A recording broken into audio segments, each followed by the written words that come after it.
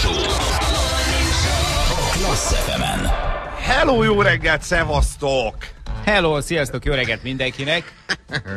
6 óra múlt 11 perccel, ez egy érzéki tévedés, nem, nem történt semmi, itt vagyunk, meg vagyunk. Jó, akkor tök őszintén 7 óra lesz 3 perc múlva, összeáll a lassan a technika, mindenki itt van, gyerekek nyüzsögnek, annyi szép ember van a stúdióban, mint soha ilyenkor el, még reggel. Elugrottuk ide a Irodás Technikai Múzeumban némi anyagért, és most összepattintottuk itt egy pultot. Engem most hallani? Igen, miért? Te hallod magad? Most igen. Nagyon jó. Az előbb nem. A következő a helyzet, hogy egy picit az a egyébként csodálatos és bámulatos technológia, ami, ami rendelkezésünkre áll, az összezavarodott. Nagyon jól érzitek, hogy a CD lemezjátszó ugrott, nem mi voltunk, bár nekem volt egy olyan kósza ötletem, hogy hattól idáig lögdösöm majd a CD lejátszót. A kis stúdiót üzembe helyeztük, és megértjük azokat az SMS-eket, amelyek a falra érkeztek, amelyeket én speciál nem látok. Aha, na, akkor felé fordítom a laptopot, nézd, Feri, ezek itt az SMS-ek, ez itt az SMS falunk, bóklász rajta nyugodtan, hogy oda férsz a kezeddel az én kezem mellett. Egyébként a kis stúdió annyira kis stúdió, hogy Ferinek csak a feje ér be. De nekem az pont elég, és a vállunk összeér. Mi oh. ez a csend? Ja, tudom, tenisz, Feri. és itt még tévé sincs, tehát ha érdekelne bármelyünket is a tenisz, akkor nem tudnánk nézni. Hát, De hála Istennek az Hála jó Istennek nem érdekel minket, úgyhogy most teniszmentes övezet lesz itt két napon keresztül, aztán majd, hogy a hétfőn jön vissza Balázs, akkor nyilván majd mindenről tudni fogunk újra. De reméljük csak egy nap erejéig. Na, azt mondja, na, ne, ne, ne szóljatok, tudom. A Ferinek lerobbant az alfa, a Janinak ellopták a felső vezetéket, és a gázolajat a Balázséknak pedig behányt a kazán. Ez már közelebb van. Legközelebb majd nem a Józsefvárosin veszitek a CD-t, jó? Nagyon rendben van.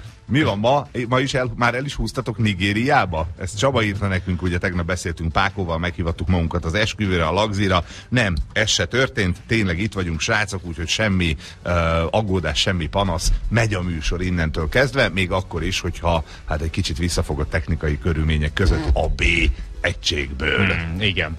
Akarsz játszani?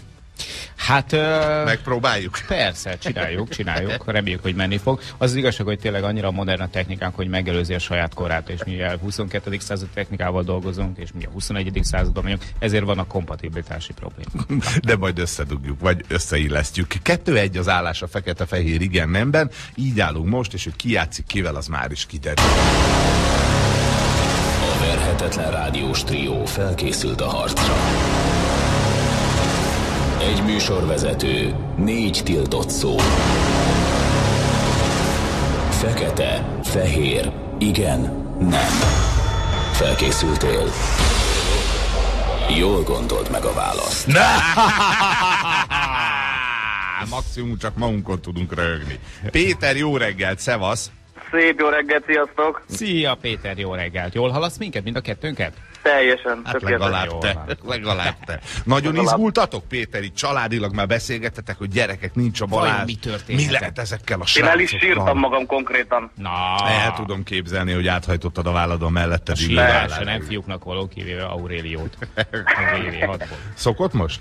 Hát minden nap valamiért elsírja magát jó. Aurélia.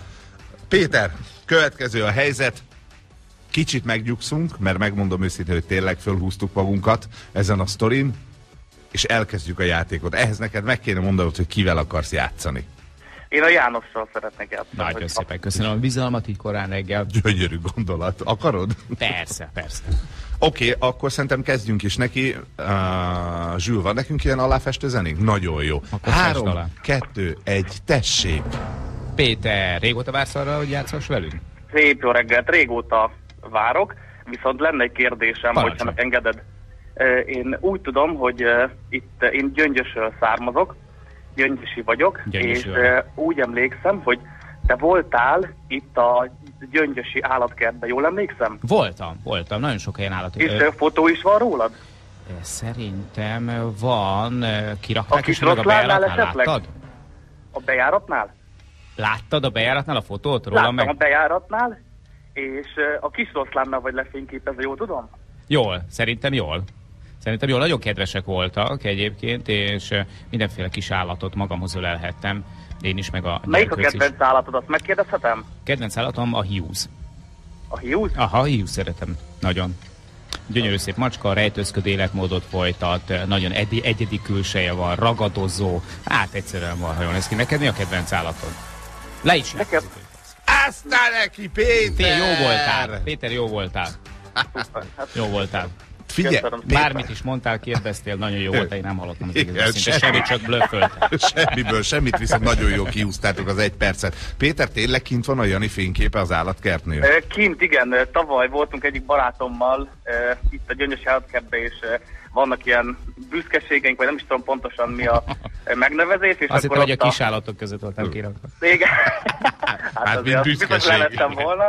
És akkor ott van a Jánosnak a fotó, és bár pontosan emlékszem, de mintha az oroszlán simogatta volna, és úgy van lefotózva. Az elmúlt három évben született nálunk két oroszlán, négy kanári, és itt járt a vadon Jani. Tudod, mi Így volt van. még egyébként valamilyen, vagy borz, vagy hangyász, de szerintem inkább borz volt, amit még odaadtak, iszonyú édes volt így ölelgetett, puszilgatott, nyilván nem hallott rólam korábban semmit, nem látott a kalandrafalba, ilyesmi, nem voltak még velem kapcsolatban a verziói, de nagyon szeretett a kis állat. Imádtam, nagyon jó kis hely. Meg ilyen emberléptékű állatkert. Igen, igen, hát igen. Péter, nagyszerű játék volt, illetve mi annyira nem örülünk, mert így kettő-kettő az állás, és pedig én egy picit izgultam, hogy behúzzuk ezt a hetet már most a mai napon, és akkor holnap lehet lazázni, de akkor holnap fogjuk eldönteni, hogy a hallgatók, avagy mi visszük ezt a hetet. Neked viszont jár az ajándék. Jár az ajándék, majd kapsz tőlünk még fél doboz felbontott siléc vaxot Balázs felejtettei. Így, így van, és én, én meg odaadom neked az A-stúdióból a keverőpultot fel. Köszönöm a kedvességeteket. Figyelj, ha kell, kell, akkor de ha akarsz, még vihetsz mikrofon, nem tudom. Mindenféleképpen. Jó van, szevasz Péter. Szevasztok, sziasztok. Szia. Hello. Uh, 7 óra múlt 5 perccel, fogalmunk sincs, hogy most lesz-e hírek. Lesz? Most lett vége, Zsül. Ne hmm. csináljuk ezt a hallgatókkal. Megint lesz egy kis hír. Zsül, ebből a stúdióból tudunk nyomni egy kis metált? Mit gondolsz? Aha, Zsül hevesen bólogat, nagyon akarja.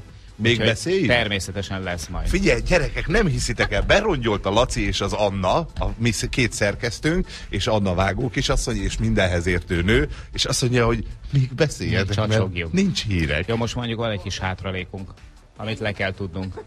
Ja, az Igen. is igaz. Meg. Jó, én Zsül, én értem, hogy van három perc reklám, és hogyha a végén nincs hírek, akkor mit csinálunk? Tehát, hogy aranyos vagy, hogy jó, indítsátok el a reklámot, és akkor majd lesz valahogy. Ja, Istenem.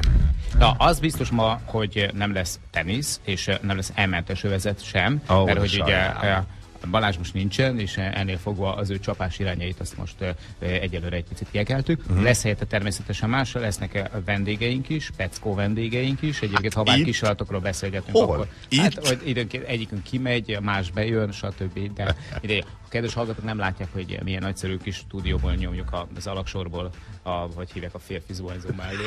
Egyébként tényleg ott vagyunk.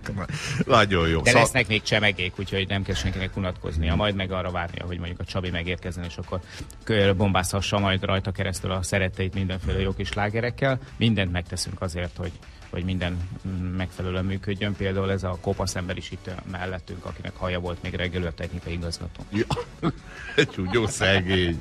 Az milyen lehet, hogy alszol békésen otthon, tulajdonképpen te elvégzed a munkádat hetek, hónapok, évek óta. De tényleg, amit tehetsz, azt megteszed azért, hogy működjön a rendszer. Igen. Tehát, hogy jó legyen. Békésen alszol átkarol, vagy gyönyörű feleségedet, a gyerekeid szuszognak a szomszéd szobában, és egyszer csak telefonálnak, hogy összeomlott minden, amit eddig építettél. De Aha. tényleg minden. most ezzel kapcsolatban annyit árulnék el neked, a Ferenc Berte éppen akkor kávéztál Annával, amikor ugye megérkezett a, a, a Gyula, hogy gyakorlatilag 5 perc leforgása alatt itt volt, hogy mert csinálta? hogy már nem otthon aludt, hanem valahol mászkált a kezében egy szatyol energiatakarékos izzóval. Nem érted, nem érted a csávót. Tehát, legyen nálam műsz... profim nincsen. Figyelj, műszaki igazgató nem mindig kell, hogy legyen energiatakarékos. Amit emberileg és szakmailag meg lehet tenni, azt a Gyula megteszi, a többi már nem rajta Na, hamarosan jön Lina a hírekkel, mert hogy az megvan, kész van, aztán, hogy mi visszajövünk-e ebbe a, ezen körülmények közé, azt majd még megrágjuk. De jövünk, nem hagyunk magatokra, benneteket lesz, ami lesz, úgyhogy itt vagyunk Lina után. 10, 10 perc múlva lesz fél nyolc jó reggelt, már oda az az én egerem. Nem nézheted a monitoromat. James Hetfield után Jani a király. Kösz Na. ezt. Dübörögám Jani a kamionban a Metal Zenga rakodótér király vagy köszi gangster, és ezeket gyakorlatilag órákig tudnám sorolni. Jani mindjárt megtalálja azt uh-huh. a mhm. kettő darab sms ami arról szól, hogy mi ez a szar. Igen, egyébként, ez egyébként azért lenni. tudtuk lenyomni ezt a jó kis Metallica számot, mert eh, annyira kicsi a stúdió, hogy Feri miatt nem lehet kinyitni az ajtót, és befelé nyílik. Nem tud bejönni ide senki, és nem tudtam megakadályozni. Ennyi gyerekek, illetve hát a CD készlet az most már idáig futott Na. ki, hogy ezt kellett, ezt kellett meghallgassuk. Mi volt ez? Ez egy eh, nagyon Tudom, Metallica volt az 1991-es eh, fekete albumról, ugye erről az albumról azt kell tudni, hogy ezt csinált gyakorlatilag világsztárt a talicskából, és 30 millió példányma fogyott el, tehát minden idők legnagyobb példányszámban elkelt albumai között is egy előkelő helyet tudhat magáénak. De mi előtte rosszak voltak? Előtte kifejezetten egy mondhatni old school trash metal zenekar Aha. voltak, és ezen az albumon egy picit újítottak, egy picit populárisabbak, emészthetőbbek lettek, hát ennyire lettek emészthetőbbek, én azt gondolom, hogy, hogy ennél emészthetőbb zenekar is kívánhatunk rádió reggeli hát, műsorában, hát ennyire. Érted? Ennyire Tehát ha valaki volt. számon kérő tőlünk, akkor majd meglobogtatom neki a billboard lista. Így van, hogy rajta volt, gyerekek, ez nagyon sokáig az első helyet vezette ezen a bizonyos listán. Na a következő helyzet nincs ma és holnap Balázs elment uh, síelni. Így van, a hűték réme Ausztriából távozott pröttyen frogyba, hogy Így ő volt mondani, úgyhogy nagyon jó szórakozás neki. Két dolgot hoz ez magával, illetve hármat, egyrészt, hogy ketten leszünk, ma meg holnap, hétfőn már ő visszatér. A második dolog az, hogy nincs ma tenisz. Hey! ja, Bocs, Zsül. Zsül, aki nem szokott ideges lenni, de majd kicsit feszült volt a technológia miatt, megállt szívvel keveri tovább az adást. A harmadik pedig az, hogy tudjuk, hogy sokan várják, és mi magunk is egyetértünk az elmentes övezettel. Itt van. részben. Nagyon, nagyon szeretjük, nagyon sokat tanulunk belőle. Vannak bizonyos pontok, amikkel egyetértnek, de vannak bizonyos dolgok, amikkel nem. Feri inkább a tradicionális táplálkozás híve, én meg alapvetően a vegyes táplálkozás híve. Persze természetesen hús meg halat nem fogyasztok, viszont cukrot annál nagyobb mennyiségben, hogy ezt így tudjátok. Gábor nem hitt el, amikor kiszámolta a múltkor a Jani cukorfogyasztását. Na de ez nem lesz helyette gasztronómia, pedig leszívunk egy nagyszerű, nagyformátumú embert, aki hát ki kardoskodni fog majd a húsevés és a magyar konyha mellett. Úgyhogy Jani is a kardjába dől, és hogy Gábor, hogyha hallgatja az adásunkat, az elmentes övezet állandó főszereplője és informátora, akkor ő szintén. Tehát... Sok minden, sok minden lesz ebben a kis stúdióban, rengeteg dolgot fog ma látni. Ez a négy fal, illetve nem tudom merre, nem is tudom megszámolni, egy hány szögű, többek között disznóvágást is. Hát csak négy, nem? Mi az ötödik? Ja, van egy ötödik fal is benne. Így nagyon, van. nagyon érdekes dolog. Később pedig kecskét is ölünk és fajtalankodunk. Én, na most akkor én kimennék. Az első az még oké, okay, de a második. Szóval nagyon érdekes dolog egy ilyen helyről csinálni az adást, de hát ez van, tízig meg leszünk, a csapataink hatban állnak, dolgoznak, vissza fogják állítani az eddig megszokott, hogy hívják, állapotokat. Laci, Léci, kicsit magasabbra azt a 60 voltos izót, nem látok semmi. nem, világít a monitorot, de hogy már minden kis vacakért, de tényleg. A tegnapi napom csodálatosan telt, csak három mondat erről, ugyanis végre bele tudtam Magadhoz nézni. Nyújtál. Azt minden nap megcsinálom. ja, arra szükség. Illetve, hát vannak még otthon, akik ezt megteszik, hála Istennek, tehát nem mindig kell nekem dolgozni ezen a történeten. Nem, hanem ö, elérkezett az a pillanat, amikor úgy éreztem, hogy nem vonhatom ki magam az alól, az információ áradat alól, amit a kereskedelmi televíziók délutáni műsora ad az embereknek, ugyanis már nagyon kezdett az engem zavarni, hogy nem tudom, hogy ki az az Aurélió, fogalmam sincs, hogy Éden Szandra az kicsoda, és mitől terhes. Ezért gyerekek, belekaptam a dologba, és úgy éreztem, hogy ezt most már nekem meg kell nézem. Fölmentél a netre, és megnézted az összefoglalókat, pedig a délutánit? A délutánit, és belekaptam ilyesmi, hogy éjjel-nappal Budapest. Például én azt se tudtam, hogy az micsoda. Tudom, hogy ez szégyen volt lassan ebben az országban, mert a legnézettebb kereskedelmi televíziós műsor, egy percig bírtam nézni. Uh-huh. Egyrészt nyilván azért, mert nem vagyok rajta a sztorin, tehát hogy fogalmam sincs, hogy ki kicsoda és mit csinálnak ott. Hát és azt a a, azt a fajta szellemi gyönyört, ami ott van, én azt nem bírom, gyerekek. Én ehhez buta vagyok. Fia, akkor én lát, ezeket nem ért. Láttál Auréliótól, a hivatásos iratóasszonytól valami? A pókosat viszont megnéztem A pókosat, a figyelj, de hát azóta ő már többféle dolog miatt is cirkuszolt. Én tegnap néztem meg egy összefoglalót, és abban éppen afelett keserget és hullatott nem kevés krokodil könnyet, hogy nincsen kihez hozzábújnia. És gyakorlatilag neki mindegy, hogy kihez, csak végre egy nő legyen, akihez oda simulhat, ja, hogy mert hogy neki olyan komoly elvonási tünetei vannak. Na, akkor mégsem mindegy, tehát fiúhoz az nem. Én azt a részt néztem meg, amikor a pókon sírt, és odaült mellé valami cellatársa a, a villában, és rátette a kezét így óvatosan a vállára, tehát szerintem Aureliumnak az se baj, ha fiú. Csak bújhasson valaki. Ő nagyon érzelmileg nagyon ingatag. A másik kedvenc, eh, legalábbis számomra, az pedig Gyuros Józsi, aki felülmúlatatlan pillanatokat tud szerezni bárkinek, aki nézi a műsort, mert hogy akár, akár mikor oda tud menni egy tükröződő felület, az, hogy megnézze magát, hogy csekkolja a sérőjét, csekkolja a bicepszét, a hátát, a nem létező mellizmait, stb. Bármilyen beszélgetést félbeszakít ennek a kedvéért. A másik meg, meg az, meg hogy én alig várom már azt a pillanatot, hogy ő kikerüljön a villából azért, hogy megnézem, hogy milyen következményei lesznek azoknak a nyilatkozatoknak, amiket ő korábban tett, például Békés Csabával kapcsolatban, ahova, ahonnan ő Mit származik. Hát egy, azt hiszem, hogy talán egy ilyen kis szaros falunak titulálta. Békés Csabát, költözél el onnan, ne bánsd az, az, én, az én megye székhelyemet. Most volt Haló. valami cikkpont valamelyik nap az újságban, hogy néhány a harcművészetekben járos kigyúrt srác már várja. Hát csak egyszer, egyszer érjen az, Akik viszont lokálpatrióták. Ezeket így megkeresik? Nagyon-nagyon vá- nagy válogatás van a televízióban, hogy ilyen hülyét találjanak, mint a, a csapatban? Hát én picit úgy érzem, hogy most nem nagyon. Tehát... most csak így Nem tudom, csak egy izért, igen, leintetek egy távolsági buszt. Na, szóval azt, azt hiszem, hogy a végzett, végleges konklúzió ebben a dologban, ez a tévénézésben, hogy, hogy hagyjuk a francba. Igen. igen, hogy én megpróbáltam gyerekek, nekem nem megy, én ehhez túl buta vagyok, ezeket a műsorokat én nem nagyon értem, úgyhogy továbbra is értetlenül fogom bámulni majd a címlapokat, hogy, hogy mi van ezzel kapcsolatosan. Hát körülbelül ennyi. Na, de itt egyébként az egyik bulvárnak a címlapja van egy nagyon érdekes fejléc, hagyja meg itt mindenkivel, hogy Éden Szandra terhes, de nem tudja kitől. Igen. Hát az is jobb buli Na látod, ez, tehát ez az érdekes cími értelmezés, mert te legalább fölkapod a fejed rá, hogy Éden Szandra. Én nem tudom ki az Éden Szandra. Nem, én igazából nem arra kaptam, én nem tudom, hogy ő ki, csak arra kaptam a felfejem, hogy van egy lány, aki terhes, de nem tudja, hogy kitől. Aha. Tehát, hogy ott igazából mi történhetett. Hadd olvassam tovább a hír gyerekek, mert meg fogtok Újra vulkanizált gumival védekezt. Egy valósághős, bocsánat, a valósághős egy hete szembesült azzal, hogy hat hónapos terhes. Tegnap beszéltünk róla? Igen hogy vannak olyan ö, nők, akik ugye ezt nem veszik észre, amit így azért a hatodik hónapban egy kicsit én csodálkoznék, mert már kicsit konkrétan... felfújtott toros káposzta. Igen, már kon- konkrétan pocakja van. Tehát, hogy ha ezt valaki nem veszi észre, hogy ő már terhes, akkor ott azért nagyon nagy a baj. És még valami ö, szeretnék megkérdezni, hogy miért nem tudja, hogy ki az apja. Hm. A, nem emlékszik arra az aktusra, ami... Ne, vagy háttal volt neki. Vagy szorult a feje a kerít, kerítés léc közé, és valaki arra járt. A verzió, B verzió, hogy annyian voltak a partiban, hogy ott megint kérdéses a dolog. Örülj, hát hogy nem ugatsz, fiam. Igen, vagy valaki leverte az izzót. És... Szabad a csok! És ő tovább gondolta egy kicsit. Aj, komolyan mondom, ezt a szellemi gyötrelmet. És akkor most mi lesz? Ilyenkor mi van? Ilyenkor hogy azt nevet a gyerekednek?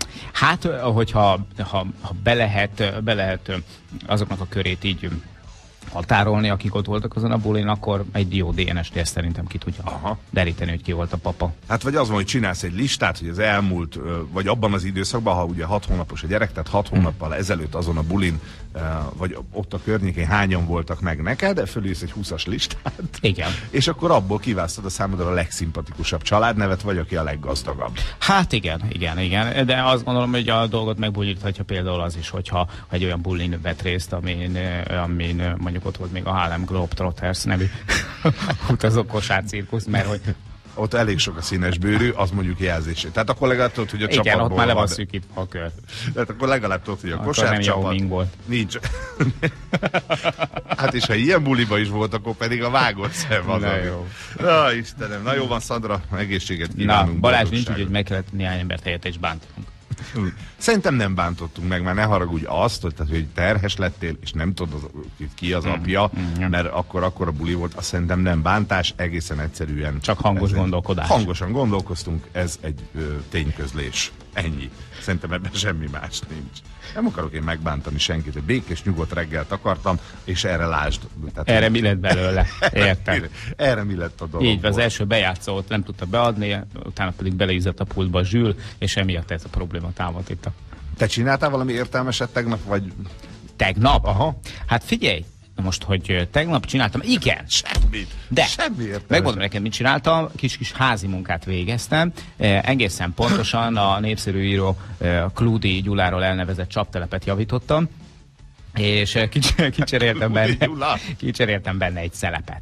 És én ezeket imádom, ezeket a tevékenységeket, annál is inkább a család nem annyira szereti, mert én nagyon akkurátus vagyok. Ezt és tudjuk, úgyis ma, egy, én akkurátuságnak nevezem, ők meg tökölésnek, meg ja. szöszölésnek, meg szerencsétlenkedésnek, és hát nem egyszerű dolog nálam. Tehát amikor én elmegyek valahova csaptelephez szelepet venni, és azt mondják, hogy, hogy tessék, itt van két darab egyforma, akkor biztos, hogy nem egyforma a kettő, tehát az egyiket vissza kell vinnem. Tegnap ez is megtörtént velem de végre nem csöpög a csap.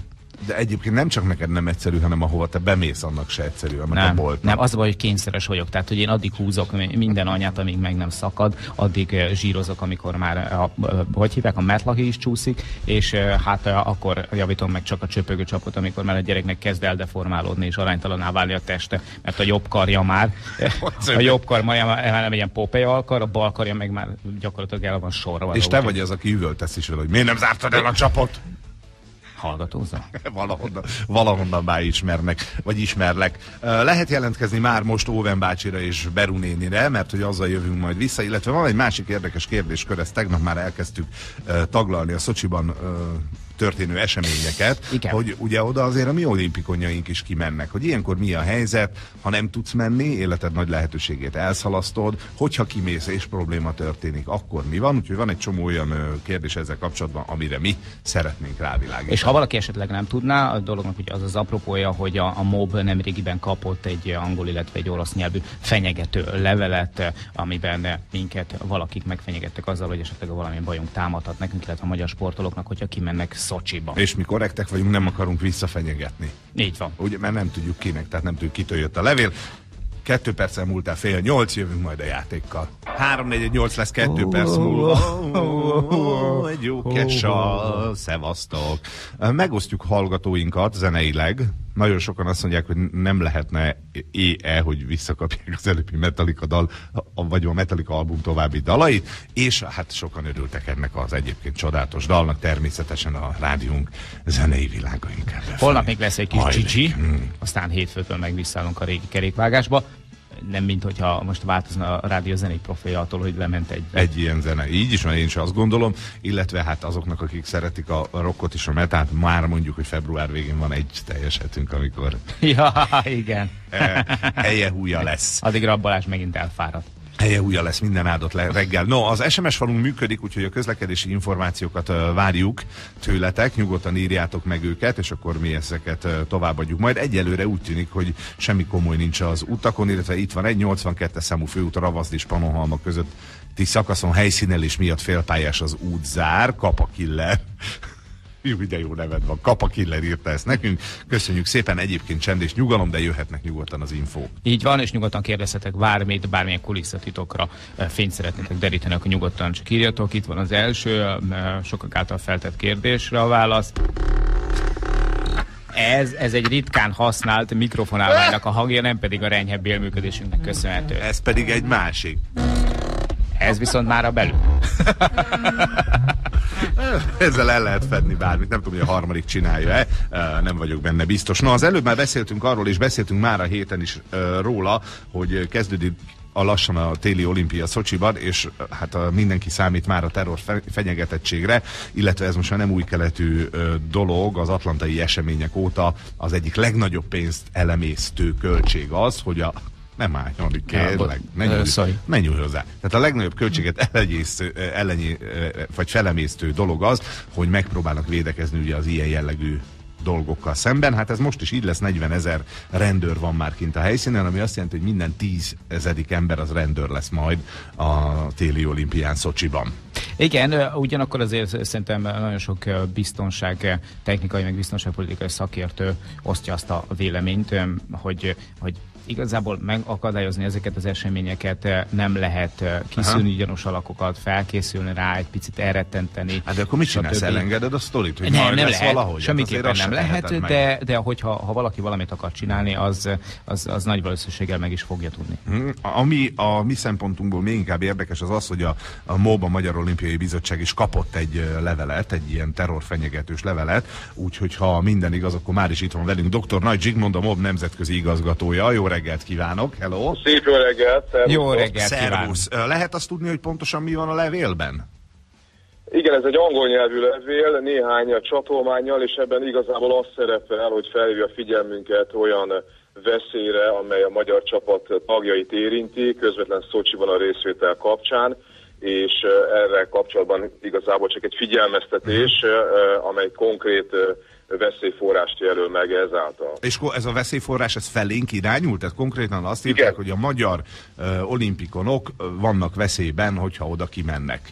Igen, egész ha. konkrétan a Magyar Olimpiai Csapat tagjai uh, ellen irányuló, sőt igazából a magyar állampolgárságokat is ide sorolja, tehát itt uh-huh. valójában a, e, igazából a Magyarország részéről delegált személyek, akik Szocsiban részt vesznek, ezzel irányult, igen. Előfordult már korábban, hogy ilyen jellegű fenyegetést kaptak magyar sportolók? Illetve kapott valami hasonlót a MOB?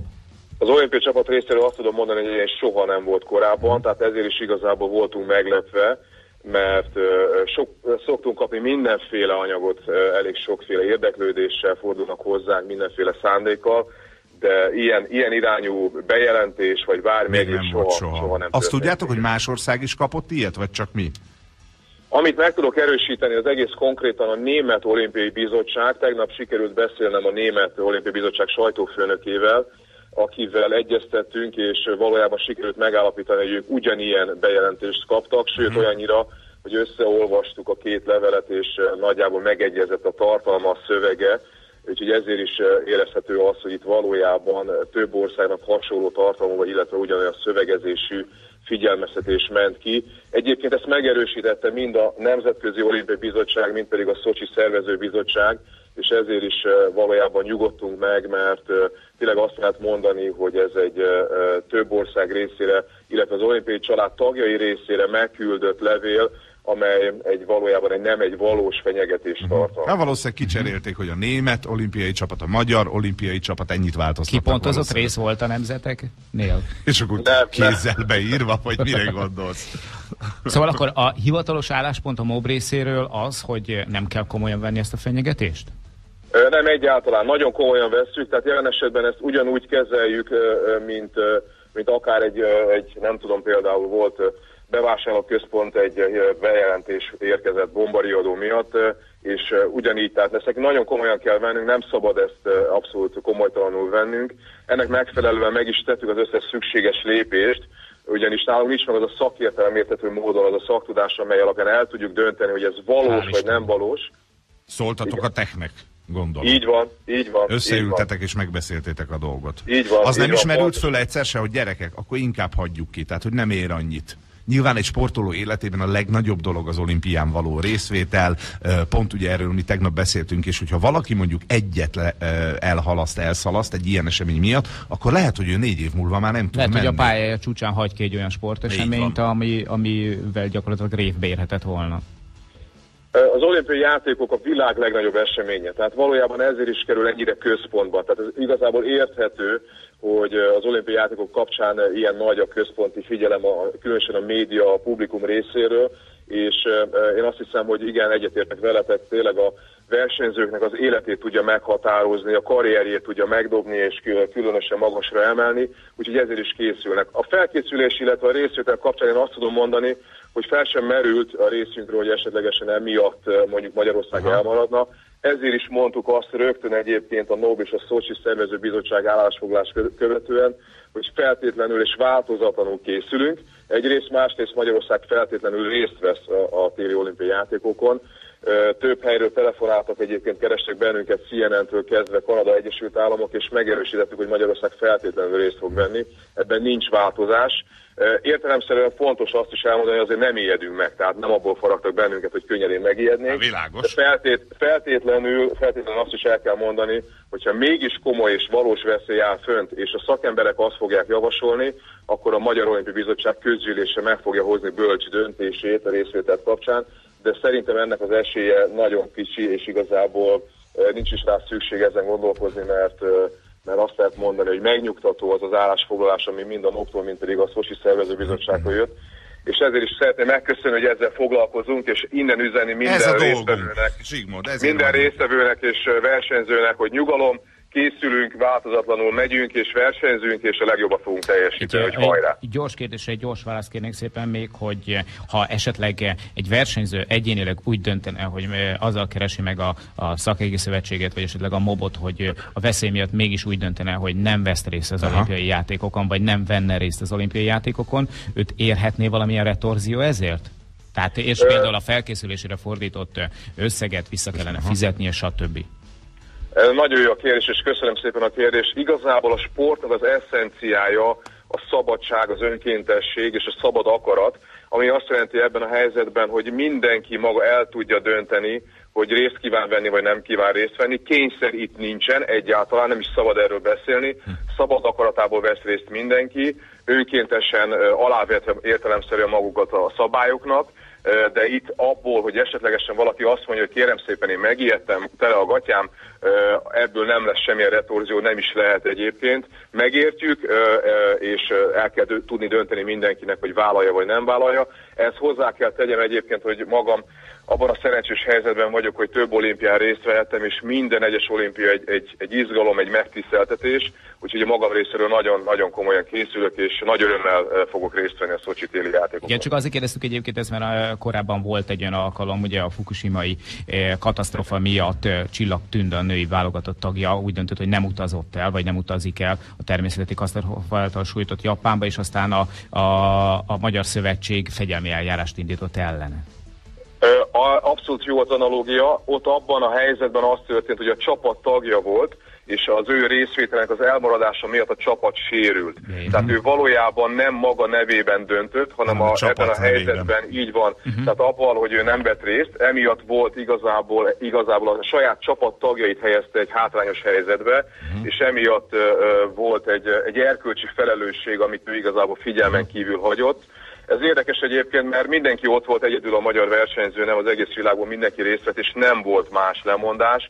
És azt lehet látni, hogy, hogy nincs is egyébként versenyzők részéről lemondás. Ma hajnalban hirdették az Ausztrál csapatot, és már az Ausztrálok hirdetik, hogy jövünk, we are coming, nagy, hatalmas nagy jelszóval az ausztrálok hirdetik, úgyhogy én nem hiszem, hogy ez fölmerülhet bárki részéről a világban, úgyhogy ez biztos vagyok benne, hogy mindenki ott lesz. Igen, amikor a bostoni maratonon volt a robbant, bostoni volt ugye a maratonon a Igen. robbantás, akkor is ugye ez volt pont a legfontosabb üzenet, hogy nem maradj otthon. Tudjuk, hogy veszély van, utána ezt szajkózta mindenki, hogy egyetlen egy olyan fegyver van a terroristák ellen, amit egy átlagember és egy sportoló megtehet, az, hogyha megy és csinálja, nyilván mérlegelni kell. Azt lehet tudni, hogy egyébként a levelet ki küldte, vagy ki küldték, melyik szervezet, valaki vállalta?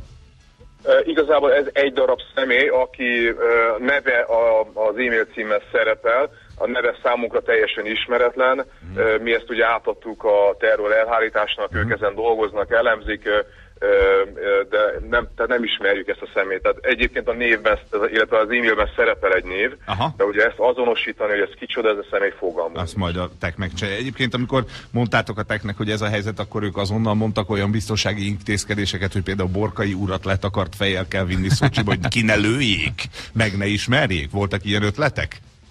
Nem, ez azért ennél komolyabb, tehát erről szó nincsen, de, de értelemszerűen kaptunk igen jó tanácsot, és folyamatosan tegnap is egyébként egyeztettünk, és kapjuk tőlük azokat a szakmai segítséget, és nagyon köszönjük nekik is egyébként innen is, hogy rendelkezésünkre állnak és segítenek bennünket, mert tényleg fontos az ő szaktudásuk. Dr. Nagy Zsigmond, a MOB nemzetközi igazgatója, köszönjük szépen neked, hogy rendelkezésre álltál, és amit mi tudunk ígérni, az az, hogy veletek vagyunk, hajrá magyarok! Igen, hajrá, hajrá! Szia, köszönjük szia. szépen. Hello, szia.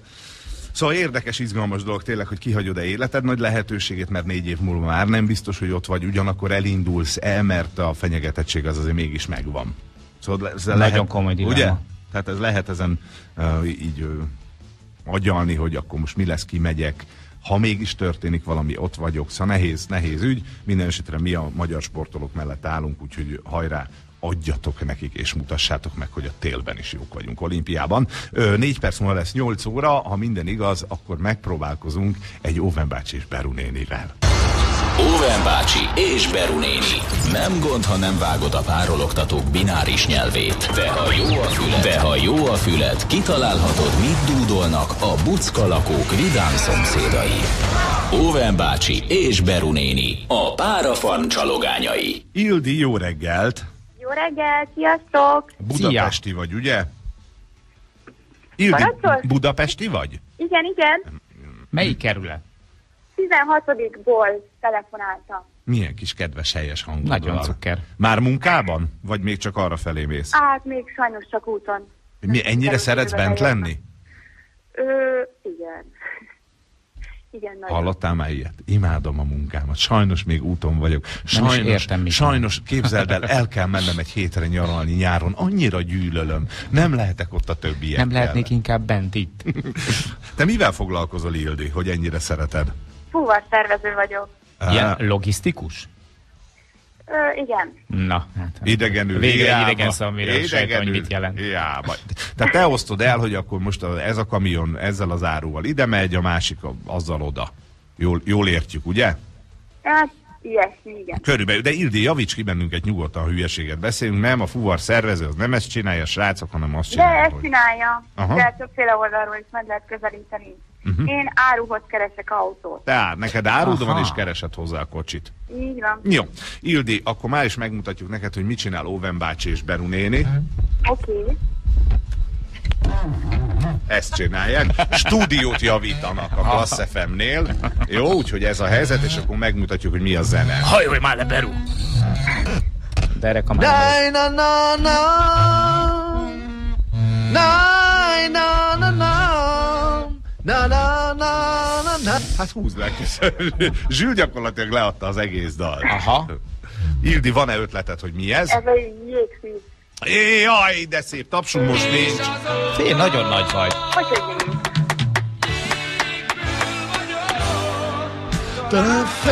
Óriási vagy, így van. Demjén Ferenc egyik fantasztikus daláról van szó. Nem csak énekesnek, hanem szövegírónak is zseniális. És ez még V-motorok volt. Igen. A jégből vagyok. Ildi, azért nincs tapsunk, mert nincs annyi gomb az új keverőpultunkon, de mi Janival adunk neked egyet. Rajta. Mondom, Jani van. Ja, várjál, csak az a baj, hogy tartanom kell közben a mikrofon állványt, de az egyik kezemmel letolom a gatyámat, és akkor Feri tud tapsolni a Jó, seggem. tudod le? Ildi, gratulálunk. Nagyon ügyes nagyon voltál. ügyes voltál. Megvan az összes ajándék, tiéd, minden egyes darabja. Jó, jó. Na, Óven Beru, most már nem kell az effektpark. Köszönjük szépen. Ildi, akkor reméljük, hogy beérsz. Jó fuvar szervezés neked. Puszi, vigyázz magadra. Szia. Szépen, sziasztok! Szia! Kettő perc múlva lesz, 8 óra jönnek a hírek, aztán jövünk majd vissza mi is. Elmentes övezet nem lesz, mert ugye nincs Balázs, ez az ő privilégiuma, ez a műsor, viszont mi hívtunk egy olyan embert, aki szerintünk igencsak jól ért az étkezéshez, bár annak idején a pályája másfelé indult el, de hála Istennek Így van. ki. Disznót vágunk, hurkát töltünk, utána meg késelünk. Így van, és folyik a zsír arcunkon, tehát ezek várhatóak a következő egy órában. Jó reggelt, szevasztok, három perc múlva lesz negyed kilenc, békésebb a Szarvasi út, ezzel el is ugrott az SMS. Ja, igen, régi, régi civil Suzuki-ból mérik a városból kifelé menőket, Lali, köszönjük szépen. Tükörég a 35-ös, most is esik a hó. Hm. Pierre. Ezt írta nekünk. Négyes főút, 251-es kilométer autó az árokban, Újfehér tóhoz közel. Az utazótól kaptuk a Kerepesi út a belváros felé beállt, ezt Perec írta nekünk. Ugye az előbb panaszkodtam, hogy nincs közlekedési információ, hát kérem szépen, akkor most már van. Még a 82-esről egy hír, Ravazd és Panohalma ti szakaszon a helyszínen és miatt félpályás az út zár. Kapa Killer írta ezt nekünk, köszönjük szépen. És ne nagyon csaba, ki Feri, mert készül az új stúdió. Ne hülyéskedj. Lehet, hogy a következő megszólással Á. vissza tudunk menni. Figyelj, ez a civil nem. Suzuki, ez mit jelent, hogy a volt régen rendőrségi Suzuki is? Nem hiszem, bár ugye megbízható járműről beszélünk, de üldözése nem. Ő Skodákat használtak a rendőrök, azt hiszem. Ugye? Igen. Volt? Volt. Volt Fábiájuk is volt, ugye? Jól emlékszem? Volt rendőrségi Swift? Mondja a Zsül, hogy volt üldöző rendőrségi Swift. Egy-öt. Ne mondd már. Egy-öt. De volt rajta kék? Volt rajta kék. Azt Üldö, mondja, hogy volt. üldöző rendőrségi zasztava. Az is Azt jó. Hát figyelj, mindegy. Az, egyébként én láttam már ilyet, tehát hogy, hogy a Magyarországon gyártják, ugye mi autónkról van szó, akkor, akkor éppenséggel lehetne rendőrségi Suzi, mert annak idején például az NDK-ban volt, Rendőrségi Suzi. volt az NDK-ban haditrabant. Én azt például ez egy imádnivaló kis jószág volt. Akkor ki voltunk, kétszer voltam kint, nagyon szerencsés vagyok, kétszer voltam még kint a Honecker féle érában. És két És- fegyverek voltak felszerelve két oldalra. Figyelj, nem volt teteje, kabrió volt. Aha, hogy és, állni a lövész. és nem volt oldalt ajtó, hanem egy lánccal volt. Megoldva a dolog. Gyakorlatilag olyan volt, mint, mit tudom én, mint az új kigyósi búcs, búcsúban. Tudod, a Ne sergő le az új, az új kigyúsi sergő, az nagyon jó volt. De hogy nézem le, én imádtam őket. Na, Tehát én rengeteget voltam a farmos, meg az új szeszi búcsúban, és a gyerekkorom fénypontjai voltak ezek az események. De hogy nézem le. És golyóálló volt a lánc? És hát el tudod képzelni. Igen, a lánc, igen. A, lá, a lánc, a lánc flexáló volt, de egyébként az autót meg ugye egy disznó is felzabálhatta, hogy mondjuk a Kusturica filmben láthattuk. Mert, ja, mert a papírt nem cserélték le. Semmit, csak zöldre volt az egész festve. Gyönyörű, gyönyörű történet. A közlekedési információkat továbbra is küldhetitek nekünk. Ilyenkor minden héten ebben az órában elmentes övezetünk szokott volt lenni, de hogy nincs Balázs azt kérte, hogy nélküle mi ne vágjunk bele ilyen tudományos értekezésekbe, hiszen hát hova is menne a világ, hogyha mi magunk foglalkoznánk ezzel a dologgal. De arra gondoltunk, hogy azért gasztrorovat miért ne lehetne, tehát ételről és étkezésről lehet szó, már csak azért is, mert az Európai Unió 2011-ben döntött arról, hogy szigorítja a szabályokat, ami a húsfüstölést illeti. És hát a magyar húsfüstölés az egy nagyon komoly évszázados hagyomány, a kolbászok, a csülkök, az oldalasok, és nyálcsorgatva tudnám folytatni a sort. És itt jön egy de. De mi? De a magyar élelmiszeriparnak ezekre a szigorításokra valójában nincsen, nem, Ennyi. volt, nem volt szüksége, mert ugye a magyar élelmiszeripar szakványok azok általánosságban sokkal szigorúbbak, mint az EU-nak a hatályos jogszabálya. Így van, itt arról van szó, hogy például a skandináv országokban ugye a halat erőszeretettel szokták volt füstölni, tartósítás és ízvéget is. Na most ott olyan mennyiségű anyag jut bele, amitől állítólag a kísérleti nyulak és patkányok azonnal feldobták a pacskert, bár nem tudom, hogy egy nyúl, ahogy etetnek Mert halat. túlfüstölik a dolgot. Nyilván egy kicsit unják a dolgot, felbontanak egy-két üveg Finlandiát, aztán azzal repül az idő. Figyelj, ráér, az még hadd füstölődjön. Ezzel ellentétben nálunk már 99 óta olyan szabályzás van, ami nem engedi ezt a dolgot. De úgy éreztük, hogy ne csak mi legyünk okosak, hanem hívtunk egy gyönyörű embert, aki nyilván ért is a szakmájához. Budai Péter, mesterszakács, szevasz, jó reggelt kívánok. Jó reggelt. Sziasztok, jó reggelt! Jó reggel. Mi a baj a füstölt hússal, ha van vele? Hát, hogy kevés, hogyha nincsen. Tehát az elég nagy baj. Igen, vágnál még egy karikát, azt téged Én, én nem tudom, mert miután létezik ember és tűz, az ott a füstöléssel tartósít.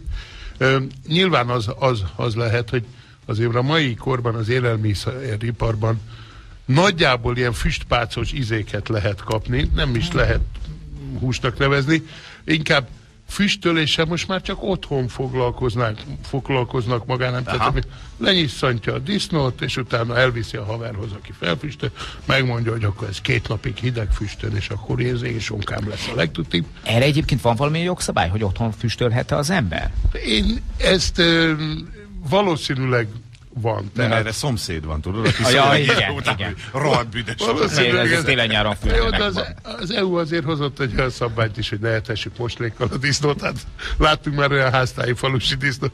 Tehát nem ez azt teszi szinte az asztal, mint az emberek. Tehát Meg ha nem ízlene, neki nem enné nyilván. én azt gondolom, hogy ez megint egy olyan, hogy nincs mit nincs mitről beszélniük, és akkor inkább hoznak valami. Aha. Ez simán a, a sima, az egyenes banán, meg a banán hajlásszögének a kategóriájába fog esni. Tényleg volt ilyen szabályzás is. Tehát ugye? én azt gondolom, hogy füstölni kell, mert füstöl. Persze, ezért mondom, hogy a földgömbnek inkább az északi féltekén, persze a délin is, de a melegebb részeken ugye nem a füstölés a, a, Ott a tartósítás, ott az ugye? hát nyilván mire fölfüstölni meg is szárad.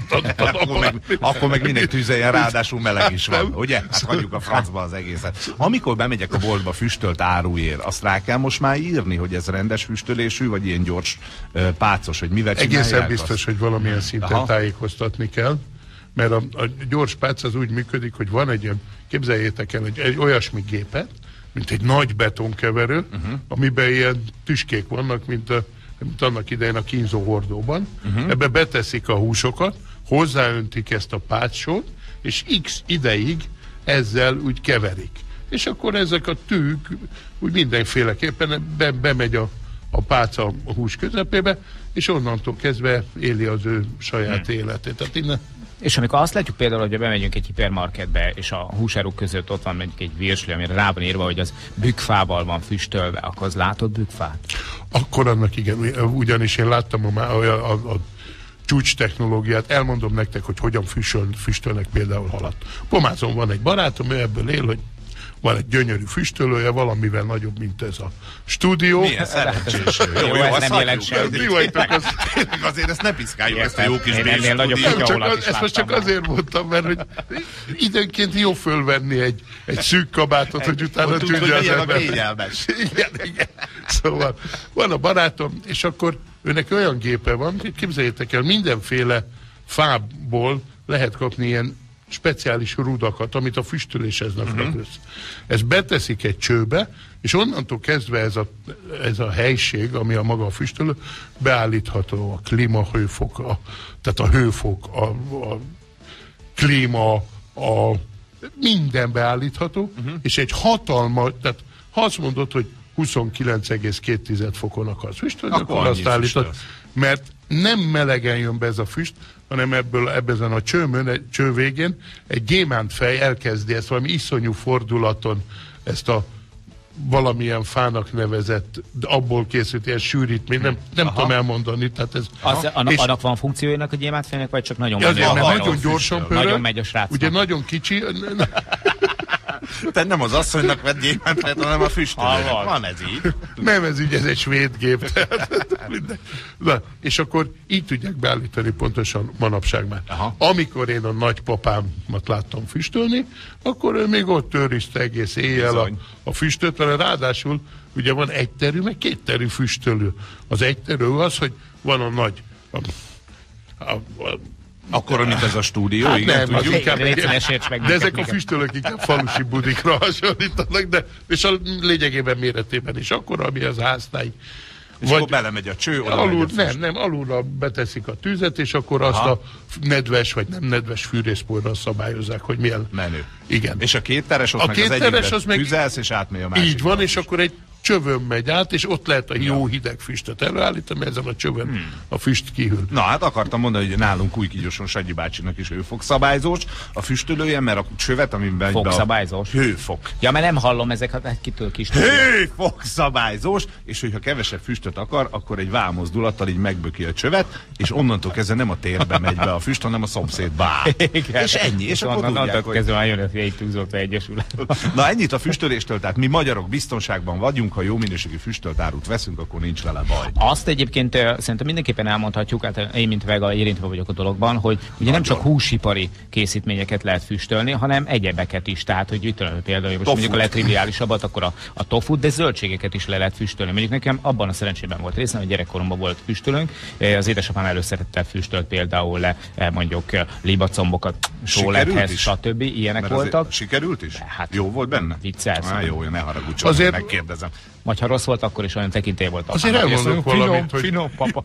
Általánosságban, hogyha már itt vagyunk, akkor hogy lehet otthon füstölni? Hmm. Mert bárki füstölhet. Jó, ez egy nagyon jó trükk. Tessék, háziasszonyok, figyeljetek. Lebontjátok a konvektornak a burkolat.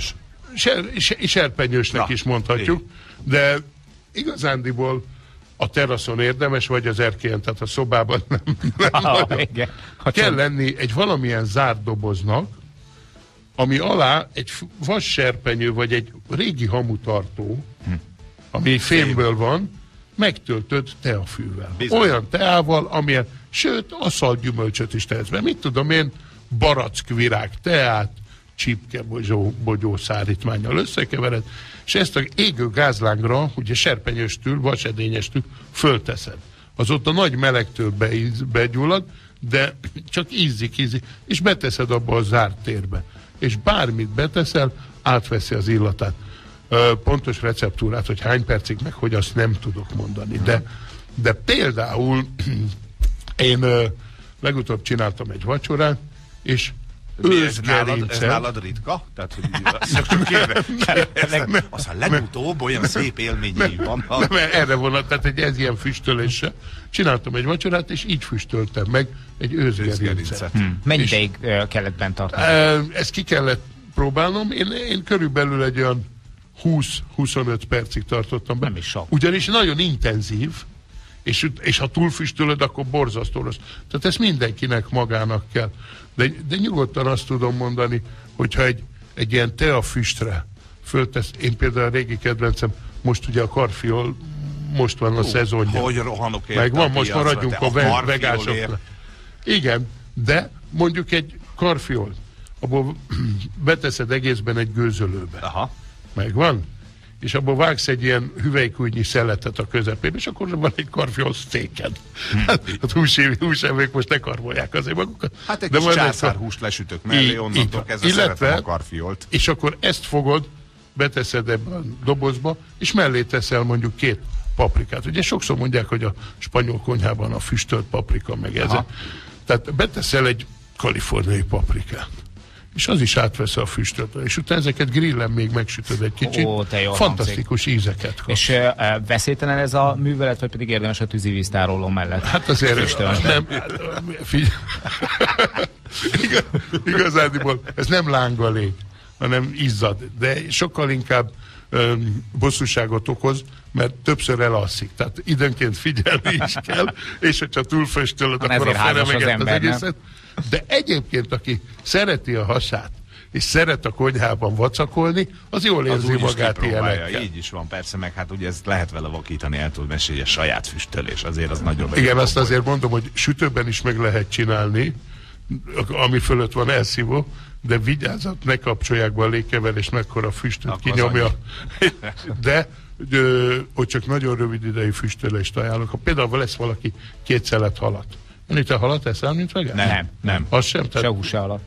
tehát ha valaki vesz mondjuk két szelet halat, és azt csak egy 5-10 percre beteszi, vagy még annyira se egy ilyen füstbe, akkor az a füst a, a sütőnek sem árt, és akkor nem kell kimenni a teraszra, és a hal is megkapja azt az ízt, amit szeretne. Halakarat is szereti, mert sikítanak a halak, ahogy meghalnak, és egy vegetáriánusnak az szörnyű. Sikítanak? Nem, te nem hallottál még erről? Isten, végre Hát, valamit mi mondott ó, és hol neki. van a hangképző szerve? Na hát ennyi, ő próbálkozik, Mert várjál, hallod. mert azt azért tudod, hogy minden pont, minden szakás gyerek keresi, szakás tanuló keresi a pontyhónaljat. Mi, mi, ez, ez egy feladat? Elkülditek a szakástalanásra? Nem, hanem hogy, hogy ráncs ki a pontyhónalját. Kész. Ez a feladat? Hát és ott van a hangja is, nem?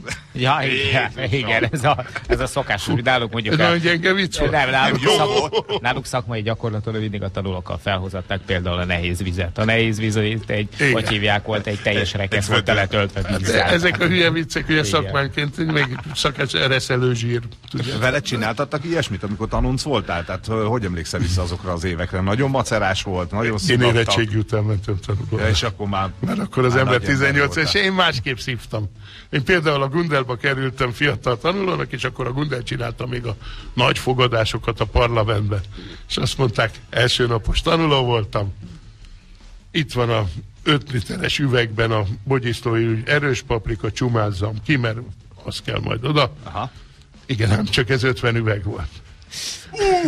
Na most utána egy hét, na, egy hétig nem mentem dolgozni, mert vörös és dagat voltak ezek. Mert annyira erős a Hát persze. összecsípett. Úgyhogy minden, minden szakmában szerintem minden tanuló megkapja azonnal a... A magáét. Így van. Na, Így akkor füstölésről Csumász ennyi. paprikát, aztán menj és próbálj meg kezet fogni horgyulával. Igen. Inkább nem. A- Arról beszélgettünk tegnap, amikor én fölhívtalak, vagy tegnap előtt, hogy gyere be, hogy pár szót ejtsünk arról is, ha már itt van ez a nagy elmentes övezetünk, amikor is megpróbálunk olyan dolgokat mondani a hallgatóknak, amivel picit segítjük őket az egészséges étkezés irányába, hogy ugye mindig azt mondják, hogy a magyar konyhával az a baj, hogy nagyon zsíros, hogy nagyon paprikás, nagyon kalóriadús, elhízol tőle. Van-e arra megoldás, hogy példának okáira székely káposztát, vagy esetlegesen, ami ugye nem a székelyekről kapta a nevét, vagy esetlegesen a csirke paprikást máshogy készítse el a házi asszony, ha oda akar figyelni a családra. Természetesen van. Kicsit azért gondolkozott, figyelj. Nem, nem, nem, hanem hogy a, a nagyon sok közül melyikkel kezdjem, az... A nagy tudású embereknél mindig kell egy kis idő, amíg belelapoznak ne a lexikon. zavarba, mert nem tudok megszólalni. Na, szóval a lényeg az, hogy alapjaiban azt tartom, hogy a világ összes nemzeti konyhájában van egészséges, meg egészségtelen étel.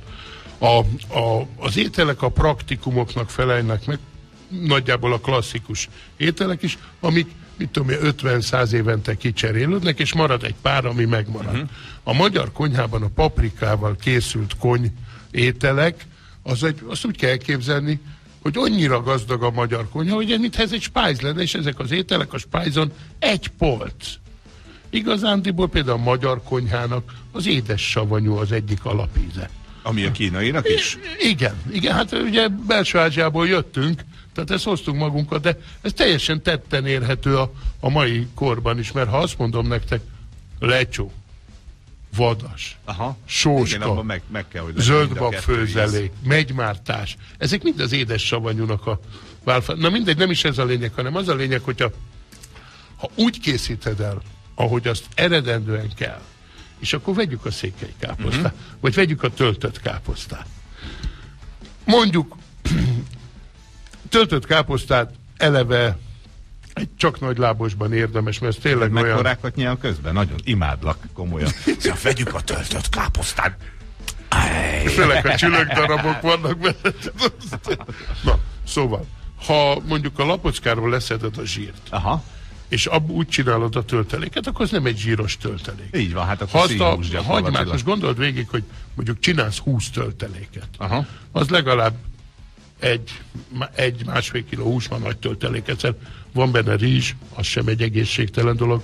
Van benne káposzta, szintén. Várjál, de hogyha le, megpárolod a hagymát, az alá nem teszel te két liter olajat, hanem csak egy fél decit, és az is egy növényi olaj. Tehát akkor az már, persze, ha szereted, akkor maradjunk ott egy kis füstölt szalonnát. Azért, így, akkor csak igen ám, de a másfél kilóhoz nem többet, mint három-négy dekát, és akkor számolt ki, hogy mondjuk öttel, hogy ha 20 tölteléket teszek, és 5 deka, akkor töltelékenként szalonnából van benne kettő vagy négy gram ö, Körülbelül, igen. zsír, tehát ez, Aha. ez De nem, az ízét azt átadja, ugye? így van, Tehát az így van. És ugyanez igaz a, a füstölt szalonnát. Ha én egy kis olajon pirítom meg a hagymát, és a szalonna bőrkéjét dobom bele, Aha. akkor az ad egy illat. Na most, a sav, vagy ízt. A savanyú káposzta az Az alapból... maga az egészség. Maga az a vitamin. Így van. Minden.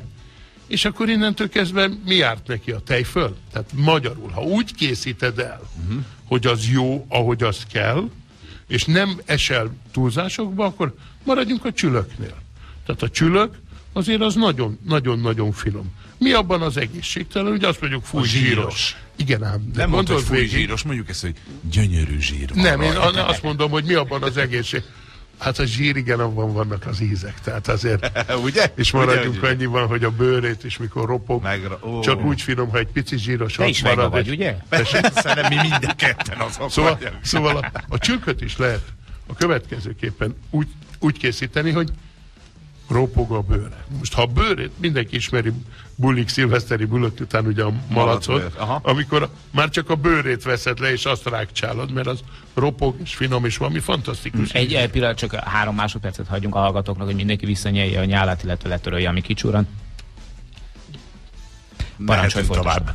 Na, szóval, szóval a csülök az egy olyan, hogyha az jól van megsütve, akkor szét tudom szedni több részre. A színhús részre, Aha. A bőr és a zsír részre, és a bőrt még le tudom szedni a zsírról, ugye? Aki akarja, nem eszi meg a Tehát a zsíros zsírt részt. kiraktad, és akkor színhúst Így teszel a bőrkét ropogtatva. Vagy úgy készítem el, hogy rögtön levágom róla ezt a zsíros részt, Aha. és, és mondjuk megfőzöm, megabárolom, ugye magyar az egy, van egy nagyon nagy elfelejtett tudás, az abálás az azt jelenti, hogy forpont alatt főzünk. Az abárolás Aha. meg azt jelenti, hogy a forpont alatt sütünk. Tehát az úgynevezett konfitálás, ez abárolás. Magyarul ez az van, hogy van a szintiszta zsír, amit mondjuk a csülökbőrből kisütünk, mint egy töpörtű, és abba nyilván teszünk hagymát, fokhagymát, ilyen-olyan fűszereket, ki mit szeret, és a csülöknek ezt a madárka részt, ugye, ami a lapockánál találkozik, és vannak ott azok a csöves húsok, azok olyan jó ilyen hengerek, ugye? Aha.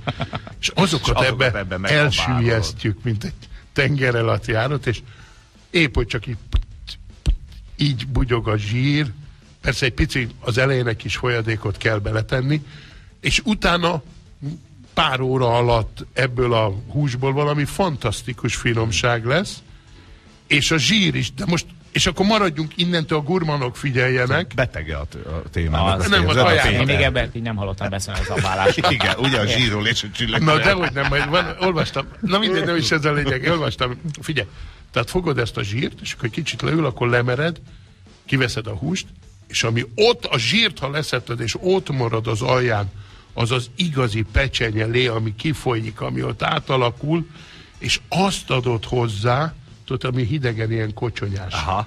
Tudod, amikor ott marad a tepsiben ez a Ha nem kocsonyás reggeliztem, hagyd abba. És így a kenyérre beleszánt. Legyen.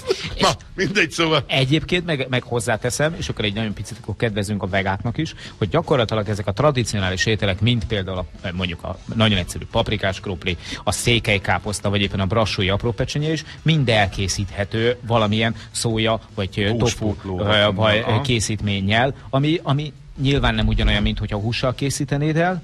De ha nem szójával, akkor megvan az a textúrájú zöldség, ami harapásnál húsérzetet Na. ad. Például, például próbáld ki, főzöl egy levest, amiben egészben megfőzöd a zellert. Uh-huh. És utána abból ilyen vastagot vágsz, és mondjuk egy kis angol parajt készítesz, az a leveles parajt sóbors uh-huh. fokhagymával megroppantva. Uh-huh. És ezt egy pici vajon, oké, nem, egy kicsi valamilyen ízesi olaj, mondjuk egy kis olyan... Ha vajon olyan- Vajon lehet? Vajon igen, vagy a zellerhez nagyon jó a dió, dióolajon egy picit megpirítod, tudod? És ezt ráteszed. az- Tehát akkor kapsz egy olyan érzetet, Mintha. hogy nem, mintha. Tehát egyedül az íz nem hasonlít a húsra. Én a szóját azért nem nagyon szeretem, mert az nem, nem európai eredetű. Uh-huh. És nem biztos, hogy jó nekünk. Akkor a kung fu csípet, gondolom. Hát, nézd, jó. A hallgatói hozzászólások, én a hüvelyesek közül a kolbászt és a hurkát szeretem a legjobban. Így gyomorra megyek egy vérvételre, hagyjátok abba könyörgöm. Richelieu, imádom a budait, éhes leszek a hangjától, műsorpercet neki köszi. Zolika 115 kiló, így írta alá. Zolika 115 kiló. Na még egy, még egy, még egy témát gyorsan említsünk már meg, mi ezt a Janival sokszor szoktuk mondani, hogy a régi magyar konyhában jelen voltak olyan alapanyagok, amelyeket ma így azok az emberek, akik a reformban utaznak, most így felfedezték maguknak. Gondolok itt például a hajdinára, egy csomó olyanra, ami ugye annak idején megvolt. Tehát használtuk, jó volt, szerettük, itt van a például. köles, ugye most például egy évben egyszer eszünk lencsét, szerencsés Bulgur. esetben, és e- ezek eltűntek. Miért? Macerás? Ez nagyon Magyarul? hosszú, gyakorlatilag Akkor a főiskolán, hogy miért tűntek el, ez nekem egy zanzásítva és egy négy órás előadásban szoktam előadni. Nem kérdeztünk semmit, Péter, köszönjük. Igazándiból elfelejtettük. Aha. Maradjuk annyiba, hogy a háború... Lustaság, nem? Igen, igen. E, Maradj, most nem akarom kif... Elfelejtettük, a háború után egyszerűbb volt a, a, a, fölborították egy ö, ország struktúráját. Amikor a szén és acél országa lettünk, vidékről az embereket a városba hozták, Aha.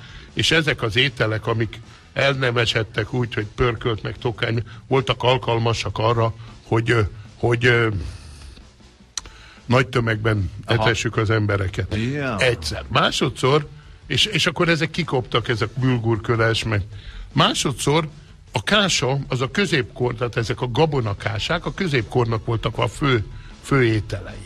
A, főleg a szegény embereket. De azt tudni kell, hogy azért Mátyás király 600 forintot költött egy évben, 600 aranyforintot csak sáfrányra. Hm. Azt én nem tudom, hogy mennyi, de hogyha olvastuk Gárdonyi regényét, a Egri csillagokat, ahol a had, ami ugye 50 évvel később történt, és 600, 600 forint volt az 2000 személyes vár egész éves ellátmánya, ugye, mint dobó fizetés. Akkor szerintem csípte a Akkor sáfrány. azt Mátyás király szerette a gyerekek. nem a fűsz. Tehát azért evett a középkor embere fűszereset, mert a gabona főzve, az a kása, ugye? Aha. Gyakorlatilag ehetetlen és Nincs ízetlen. íze, Gondold végig, hogy kifelejted a rizsből a sót, már szét is estél, véged. Viszont ezért sokoldalú köret, mert hogy egyébként édesen is sósan is És ugyanakkor a hajdina viszont nagyon egészséges, és ő jó lenne, ha visszajönne, mert az egy eurázsiai, tehát itt teljes. Például a hor, hor, hor, horvátoknál népeledel. Aha. Illetve a japánoknál. A japánoknál is, ott külön tésztabárok vannak. Ugye a japánoknak, mikor azt látod kiírva, nyilván, hogy a Japánul, a, ugye, a, a, a olvasni, van, igen. hogy szobabár, Aha. akkor az azt jelenti, hogy szoba Tészta. az a hajdina. Aha. Önálluk ennek megvan a... És itthon nehéz tésztának el, nehezen kezelhet, és van egy ilyen furcsa íze. Érdemes fölfedezni, mert a cukorbetegeknek tökéletes hm. dolgok, tehát ki lehet pincsurázni ezekből a dolgokból azt, a, azt amit ehetnek. Vesz föl Pincsura, pincsorázni. felírtam a szobabárt és a pincsurát is. Pincsora, ez a kettő. És hogyha Japánba jársz, mindenképpen menjél be a gésa cuccolóba. Az is nagyon jó. Szeretném, mert nem jó, mert nagyon drága. Voltál? Japánban igen, mindenki és a de- cuccolóban. Akartál menni, de nem volt rá keret. Hát nem ott képzeld, el, hogy bokláztam egyik éjszaka az utcán, és oda jön egy cső, és elkezdem mondani, hogy 4000 jen. Á, mondtam, most kösz nem. Kiderült, hogy még csak nem is akart semmit, hanem 4000 jen óránként, ha leül veled beszélgetni egy bárba. Úgyhogy És vigyázz. ebben nincs simi-sumi, meg Se- tipita. Simi-sumi fizethetsz neki, és beszélget. És esetleg elővesz valami teljesen élvezhetetlen hangú hangszert. és azt mondd elő, Na most képzeld el, és utána elvittek, ugye 2010-ben voltam a Japán Alapítvány Mhm. uh-huh. vittem, mint gasztronómus, akkor a gasztronómiában volt Japánban, ugye én főiskolán tanítok, és azt kértem, hogy olyan programot állítsanak nekem össze, ami a japán hagyományok és az, ét, és az étkezési Jött kultúra. egy szamurá is ketté. azt kérlek szépen egy teaszertartásra. Négy óra. Na most nem, azt, azt kell tudni, hogy a teaszertartás, annak minden mozdulata koreografált, és hagyománya és története van. Na most elmondták, hogy ez volt az egyik legfontosabb ünnepi aktus a győztes csata után. A teaszertartás. A teaszer. Most kérdezd el, képzeld el, mikor tele vagy adrenalin, győztél, és éppen a megmenekültél a haláltól, és lekaszaboltál, normális helyeken, mint ugye a Magyarországon, Hát akkor valamit. mutattak be, és egy hétig mulattak pia. Egy török az egyik oldalán, a másik a másik, van, a harmadik, meg a folyjon a fogai bor, közé. ugye? Azon a vidéken te a szertartás. Ezek leülnek és Leültek, am- nem volt több másfél óránál. Sics vége. Igen, összecsapták egy kicsit a dolgot, ők sem voltak elégedettek. Kár, hogy mert olyan jól beszélgettünk, kár, hogy vége van. 3 9 lesz 5 perc múlva. Péter, megköszönjük, hogy jöttél a mai Köszönjük. napon. Jó, és adtál egy csomó jó tanácsot nekünk. Köszönöm Amikor szépen. a Balázs nem lesz, akkor majd vissza mert biztos, hogy elhatárolódna ö, ezen szavak ellen, de nagyon szépen köszönjük Budai Péter mesterszakácsnak, hogy elfogadta a meghívást. Úgyhogy hello. Köszönöm, sziasztok. Szia. Jövünk vissza a hármasugrásra. 7 perc múlva lesz 9 óra. Sziasztok, az 51-esen Kalocsán a Baja felé érkezőket mérik. Kókó 044 írta, kamion az árokban az M3-ason mezőkeresztesi lehajtónál a mentés most kezdődik. Uh, Unix Gabi írta, mínusz 3 fokban háromlábú trafi Beretyóról kifelé Szolnok irányába a 28-as kilométernél, ezt Kornéltól kaptuk. És hát meg kell mondjam nektek őszintén, mi van? Ja, de nincs ne, csak mondani akartam. Nem, már persze, tényleg. inkább olvasgass, mert nekem úgy van netem, ahogy diplomám. Mind a kettő hiányos, de az egyik még pótolható, Igen, és ez a diploma. Is ez. nem, nem, sajnos a net. Nagyon sokan írtatok uh, Budai Péterre. Amíg nem kóstoltam az oroszlánt, nekem a disznó az állatok királya. András írta, szakács vagyok, most megyek dolgozni. Komolyan szellemi táplálék volt ez a rovat, üdv Gaben. Hát nem rovat, hanem ugye uh, vendégként szerepel, tehát nem ígérjük nektek, hogy minden héten lesz egy ilyen. Legyen az, hogy legyen ez egy eh, rovatpótló rovat. Tehát, Nagyon hogyha jó. a Balázs legközelebb eh, megint elmegy valahol sielni, szörfölni, vagy eh, nem tudom, eh, hogy hívják rá, eh, akvarelt festetni magáról, akkor, és ez pont csütörtökre esik, akkor, akkor jöjjön be a budai az Jó, elmentes övezet jó, helyett, legyen. és beszéljen a nyúl, kis ropogós bőrök, Már csak azért is, mert itt sokan írják, hogy tulajdonképpen miről beszélünk, elmentes övezetet csináltunk, mert se a füstölés, se a csülök nem tartalmaz magában et. Tehát, hogy ez simán belefért a uh, rovatba. Azt hittem a reggeli szex után már semmi nem tud felizgatni. Most indulok a Laci pecsenyéshez. Hát. Ha a budai doktort nem hívjátok meg hetente, kitörtölöm a frekvenciátokat, olyan szépeket mond, elsírom magam, kis murci. Ez most nagyon nagy szemétség, amit csináltok. Ezzel vallatni lehet. Csak egy kis katonát adjatok, és elmondok mindent. Aranyosak vagytok, köszönjük szépen. Még egy a séf úrnak olyan a hangja, miközben az éterről beszél, hogy a nyál összefut a számban, Joe. És tulajdonképpen neked Hát igazad igen, van. ahogy ember beszél, egy olyan egyszerű, egyébként egyszerű és egyszerűen kivitelezhető kis mozzanatról, hogy és akkor azt jó kis szaftatot kitörlöm a tepsinek az aljáról egy, egy szelet fehér Ami a kegyére. végén ott marad, és egyébként meg egészséges hús csinálta előtte. Csak a zsírt azért kitörlöm fehér kegyérrel. Imádom Nagyon jó, a hát köszönjük neki, hogy eljött. Hármas ugrást fogunk játszani, remélhetőleg már is itt van a játékosunk. Hármas ugrás a Morning Show-ban. Felkészültél? Akkor fuss neki. Jó reggelt kívánunk neked, szevasz, nem tudjuk ki vagy. Sziasztok, Ildi vagyok. Szia, Ildi. Puszi, ne haragudj, egy kicsit így visszafogottan nyomjuk ezt a mai reggelt, már nem mi, hanem a technológia, úgyhogy Anna szegény nem tudta. Ja, de ide írta nekem Így kézzel, de most nagyon, édes. most minden mindennel kompatibilis egyébként a műsorban, mert Feri is, én is, és a technikánk is a 70-es évekből származik. Így van, analógok vagyunk. Mind, mindannyian. Ildi, honnan jelentkeztél a játékra? Ö, innen Pestről. Te vagyok. is Pesti vagy. Igen. Aha, mi a melód, mit csinálsz? Titkárnő vagyok a Nemzeti Adó és Vámhivatalnál. Kezeit csókolom, kedves Ildikó, és jó napot kívánunk magának a főnök, főnök úrnak is. Melyik osztályon tetszik dolgozni? Ez titkos. Ezt nem lehet elárulni? Nem, azt nem szeretném. Nyomozók Titkárnő vagy? Dehogy is, nem, azért annyira nem vagyok kemény. Hát de mondjuk a főnököd az esetleg lehet a nyomozati Ne. osztály vezetője. Nem, nem, nem. Mm. Nektek külön oda kell figyelni az adóbevallás, hogy nehogy valamit elszúrjatok, mert azért házon Hát belül most- az mégis hát- ciki, nem? Gáz lenne, igen, de én most önadózó leszek. Ja, ezt most hallottam pont tegnap, hogy a vezető cégünket meg lehet kérni arra, tehát akinél mi dolgozunk, hogy csinálja meg helyettünk az adóbevallást. Nálatok van ilyen, hogy a, mit tudom, Van. megkéred a, a főnököt a NAV-nál, hogy ugyan főnök csinálja már meg, hát ha maga nem szúrja el.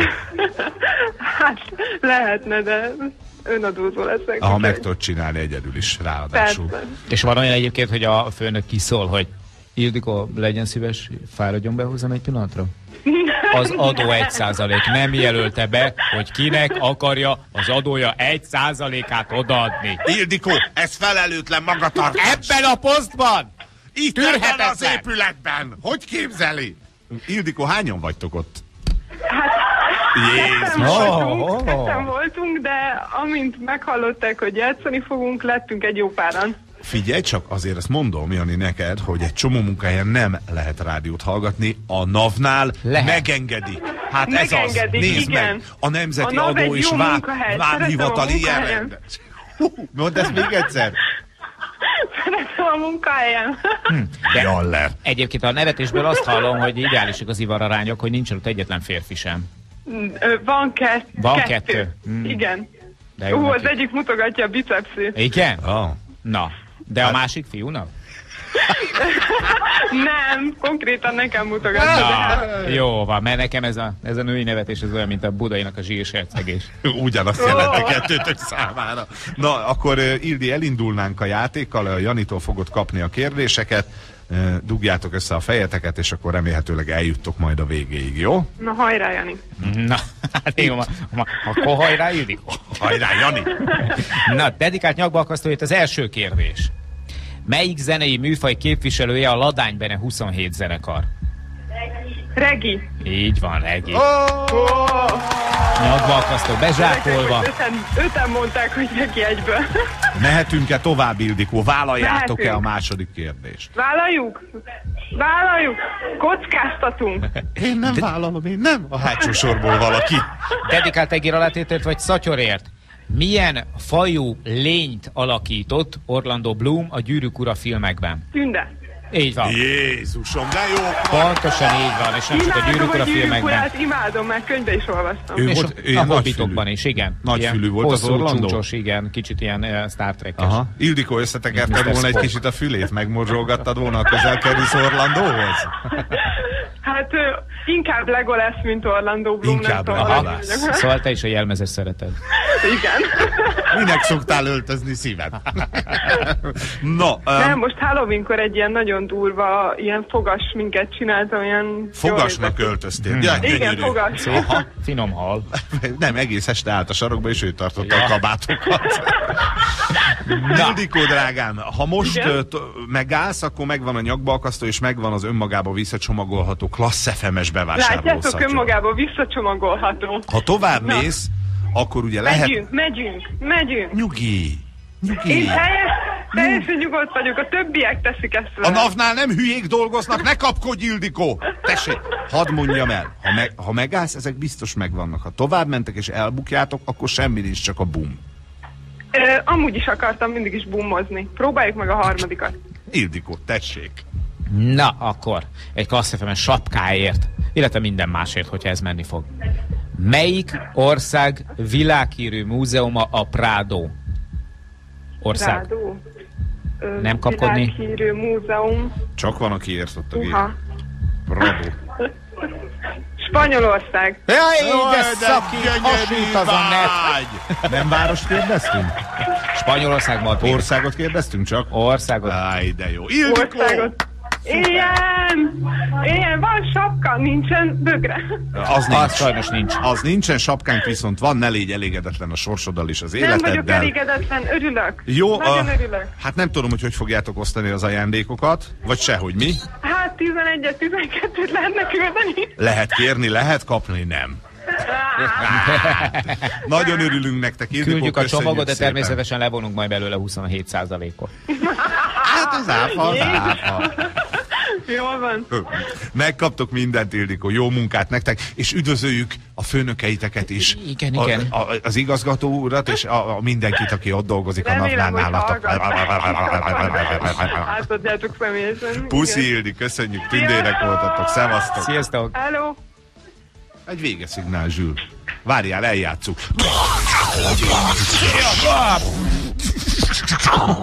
Ez volt a hármas ugrás. Készülj a következő megmérettetésre. Na, jó volt? Király Jó volt, hírek lesz, jövünk Megtartunk. vissza.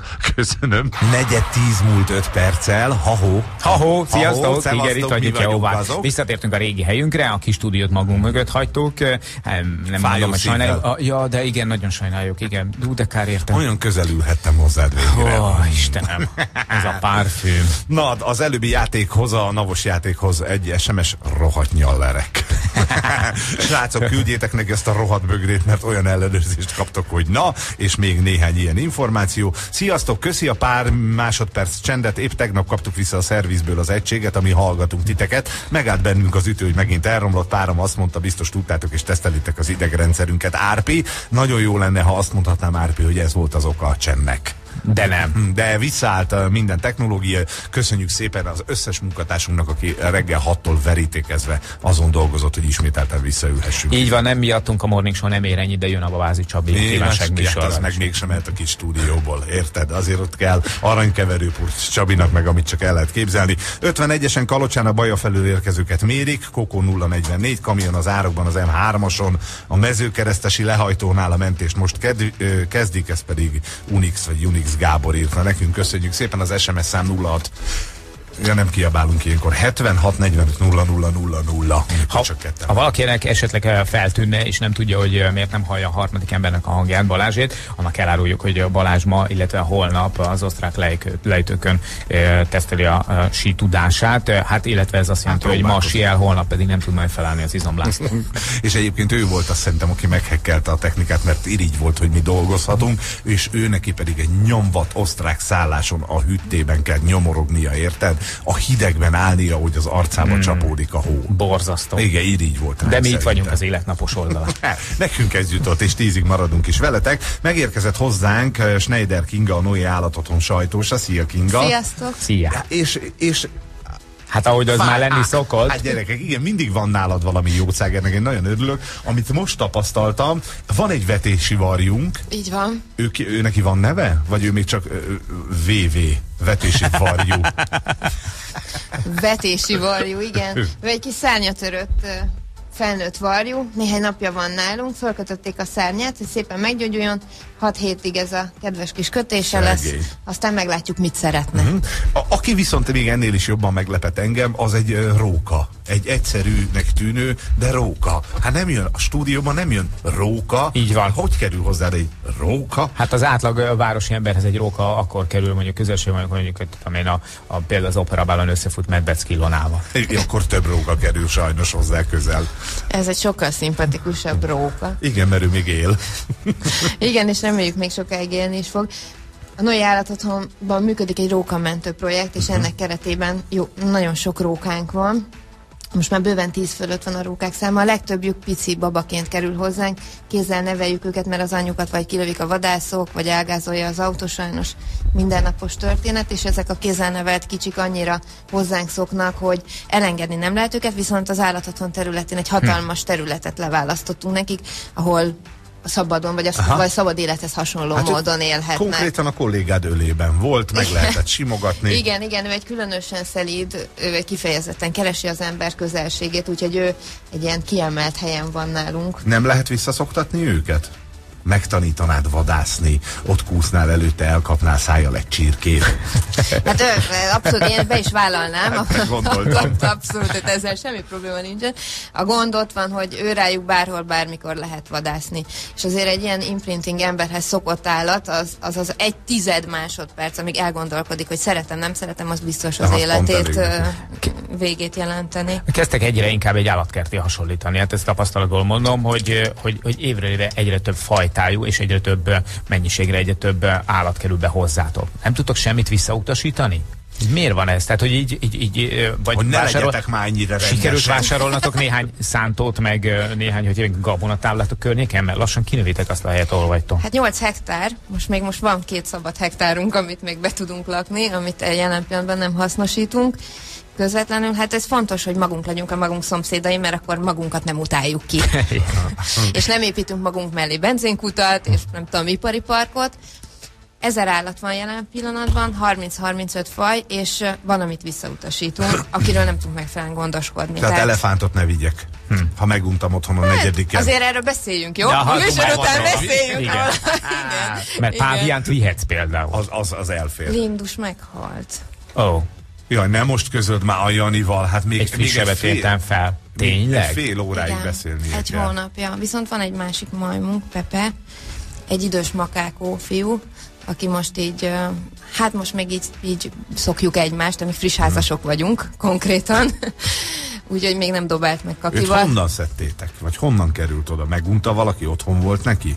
Igen, ő egy illegálisan tartott majom volt, Kőszegről került hozzánk egy magánházból, illetve hát a gazdája meghalt, és a család nem tudott tovább gondoskodni róluk, de hát amúgy sem lehet főemlős Aha. Magyarországon magánháznál tartani. Tehát valószínűleg illegálisan jutott ő is hozzá? Nem, nem, ő teljesen legálisan jutott hozzá, egy 24 éves majom, tehát nem, nem egy fiatal kap darabka. az ember egy majmot? Nekem sose akartak születésnapomra majmot Bocs, mert nem ismered a vietnámi nagykövetet, ennyi. Ja, hogy ő Na hát Ennyi. összekötetések dolga. A Huszon- 24 éves majom az idősnek számít? Mert mi ugye 40 évesek vagyunk hasonló kategóriában. Majomban, igen, és jól tartjuk És igen, magunkat. egyébként igazából igen.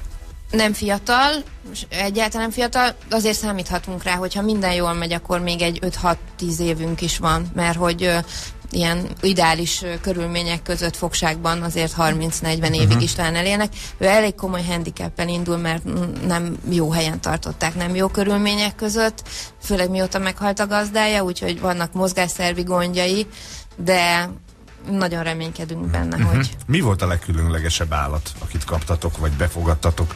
Eddig, amire azt mondod, hogy hát ott azért elgondolkoztunk, hogy hogy kell vele bánni. Hát a majmok egyértelműen Aha. a főemlősök. Tehát Linda, akiről az előbb szót ejtettünk, aki, aki most halt meg, őt egy évig készítettük elő, hogy oda tudjon költözni hozzánk, hogy megfelelő méretű helye legyen, szak, szakértelem, stb. Mert könnyű egy állatot vállalni, tehát hozd az elefántot, ezt megbeszéljük, de hát őről a gondoskodni is kell. A Tehát ahhoz kell hely, meg lennétek. Igen. Honnan szerzel annyit? Beszéljünk egy kicsit a fő profilotokról, az állatölők befogadásról, mert ugye azért ti is azt szeretnétek, vagy nem szeretnétek azt, hogyha gyakorlatilag életük végéig ti gondoskodnátok minden állatról, az lenne az ideális, hogyha mindegyiknek lenne egy saját gazdja, aki majd aztán gondoskodik róla úgy, ahogy kell. Hát igen, sőt most profilt bővítettünk, tehát már nem csak a kutyáknak, hanem az önkénteseknek is keresünk gazdit. Hát ez óriási volt, én ezt a hirdetést elolvastam. Következő a helyzet, hogy van egy nagyon cuki örökbefogadható boxer, az ő neve Mókus. Mókus, és úgy van a hirdetés, hogy hát adnánk Mókus, de van Csilla is, akinek nincs társa az életben jelenleg, összekapcsoljátok a kettőt, 31 éves, 90-60-90 ez a paraméter, tulajdonságai, kedves, szeretetre méltó, mindig vidám, kicsit néha túl hangosan vihog, de ez minden. Óriási Csilla létezik? Igen, hogy ne létezne, hogy ne létezne. Hát tulajdonképpen persze természetesen itt elsősorban az örökbefogadható kutyusokra hívtuk föl a figyelmet, de de ez, ez a dolog, ez nagyon jól szimbolizálja azt, ami nálunk működik, hogy mi barátok vagyunk, tehát hogy az, hogy az állatokat szeretjük, az, az a nyitott szívűség, meg lelkűség, az összekovácsol minket is, és hát ha azt látjuk, hogy az egyik barátnőnk már mondjuk néhány hónapja hervadozik, összekapcsoljuk a Kerestek kellemes valakit, aki meglocsolja. És ha, ha, ha mókusnak lesz gazdia, akkor Csilla is cuccol, Hát pakol. persze, simán oda költözik. nem? Bepakolja a görbőröngedet, és amikor azt mondjuk neki, köszönjük szépen mókust a viszontlátás, milyen viszontlátás. Én is itt maradok, igen. Mondom, hogy a hallgatók érdeklődését egyébként Csilla felkeltette, hogy jóképű, magas Csillánál idősebb, megbízható férfit keresünk neki eh, biztos egzisztenciával, és szereti a kutyákat. Igen, Ugye és az, fontos? az mondjuk nem fontos szempont, hogy Csillának tetszen, itt vagyunk elég sokan, akik le fogjuk mehozni ezt a jelentkezőt. Ja, igen. megnézitek. Az egzotikus állatok közül bármelyiket, vagy akkor úgy mondom, hogy akkor nem a kutyák meg a cicák közül bármelyiket örökbe lehet fogadni? Nem, nem senkit. Ők vagy szabadon engedjük, akiket lehetséges, Mhm. hiszen természetesen ez az elsődleges cél, hogy jönnek, segítségre szorulnak, meggyógyítjuk, megszergetjük őket, és akit biztonsággal lehet szabadon engedjük, vagy pedig kialakítunk nekik egy olyan helyet, ahol boldogan élhetnek Mhm. De most a hátsó nálunk. kertemben kikanyarítok egy 100 négyzetmétert, nincs már, negyediken lakom, de ha lenne, és azt mondom, hogy én ezt a róka gyereket, ezt nagyon szívesen látnám ott a kertbe, gyertek el hozzám, mondjátok el, hogy milyen körülményeket kell biztosítanom, tehát építsük föl együtt ezt a 100 négyzetmétert, mondjátok meg, hogy mire kell figyeljek, és gyertek el hetente egyszer hozzám, nézzétek meg, hogy jól van-e a rókám, akkor se? Nem. Miért nem? Te rókairigy vagy. Igen. Te rókairigy vagy. Hello! Igen, igen, igen, igen. Nem, egészen pontosan azért uh, nyilván ha valaki megfelelő szakértelemmel bír, akkor segíthet nekünk például abban, hogyha ő rókázna, akkor mondjuk a felnevelésben. Igen, a rókáznak kicsit félreérthető. Hát szó szerint is értettem, mondjuk a más szagok itt terjengenek. Tehát, hogy, hogy a felnevelésben, esetleg ilyesmiben nyilván tud segíteni. Tehát akiben van azért a, arra affinitás, Mhm. hogy, hogy foglalkozzon állatokkal, az nálunk megtalálja a segítség módját, de ők nem házi állatok. Tehát nem való nem, oda. Nem, nem való Mhm. családi környezetbe. Önkéntesnek, hogyha akar valaki jelentkezni, az úgy van, hogy bemegy hozzátok, ti kedvesen leültök vele, Csilla és te, mondjuk, eldumálgattok, hogy az élethez való hozzáállása milyen, és akkor azt mondjátok, hogy oké, okay, minden szerdán és pénteken várunk déltől hatig.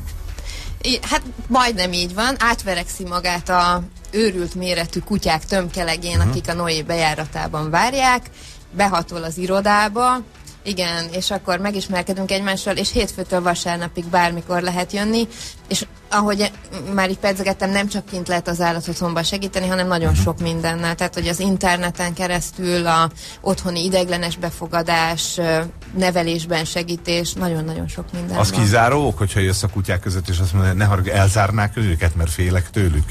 Igen. Úgy azért nehéz, ugye? A, tehát azért, azért úgy van, amikor jönnek, ör, de nem, hogy nem önkéntesek, hanem örökbefogadók, és behajtanak egész az irodai kocsival, nem majd ülnek kiszállni. és dudálgatnak. Mi meg, hát bocsánat, de így nevetgélünk az irodában, hogy vajon meddig fog tartani, és akkor végül kiszáll, megkérdezzük, hogy mit szeretne. Kutyát örökbe fogadni. Na, ezek mindig pitbullt keresnek egyébként. Ja, hogy ő egyébként bátor erre. Egyébként az önkéntességnek van egy ilyen sokkal lájtosabb eh, formája is, amit mi szoktunk ö, a családdal gyakorolni, és uh, nyilván rájuk is szükség van, vagy ha nem, akkor mondjátok meg, és nem megyünk Az többet, életemnek. szemetek. Ezért áldoztam éveket az életemből, értetek?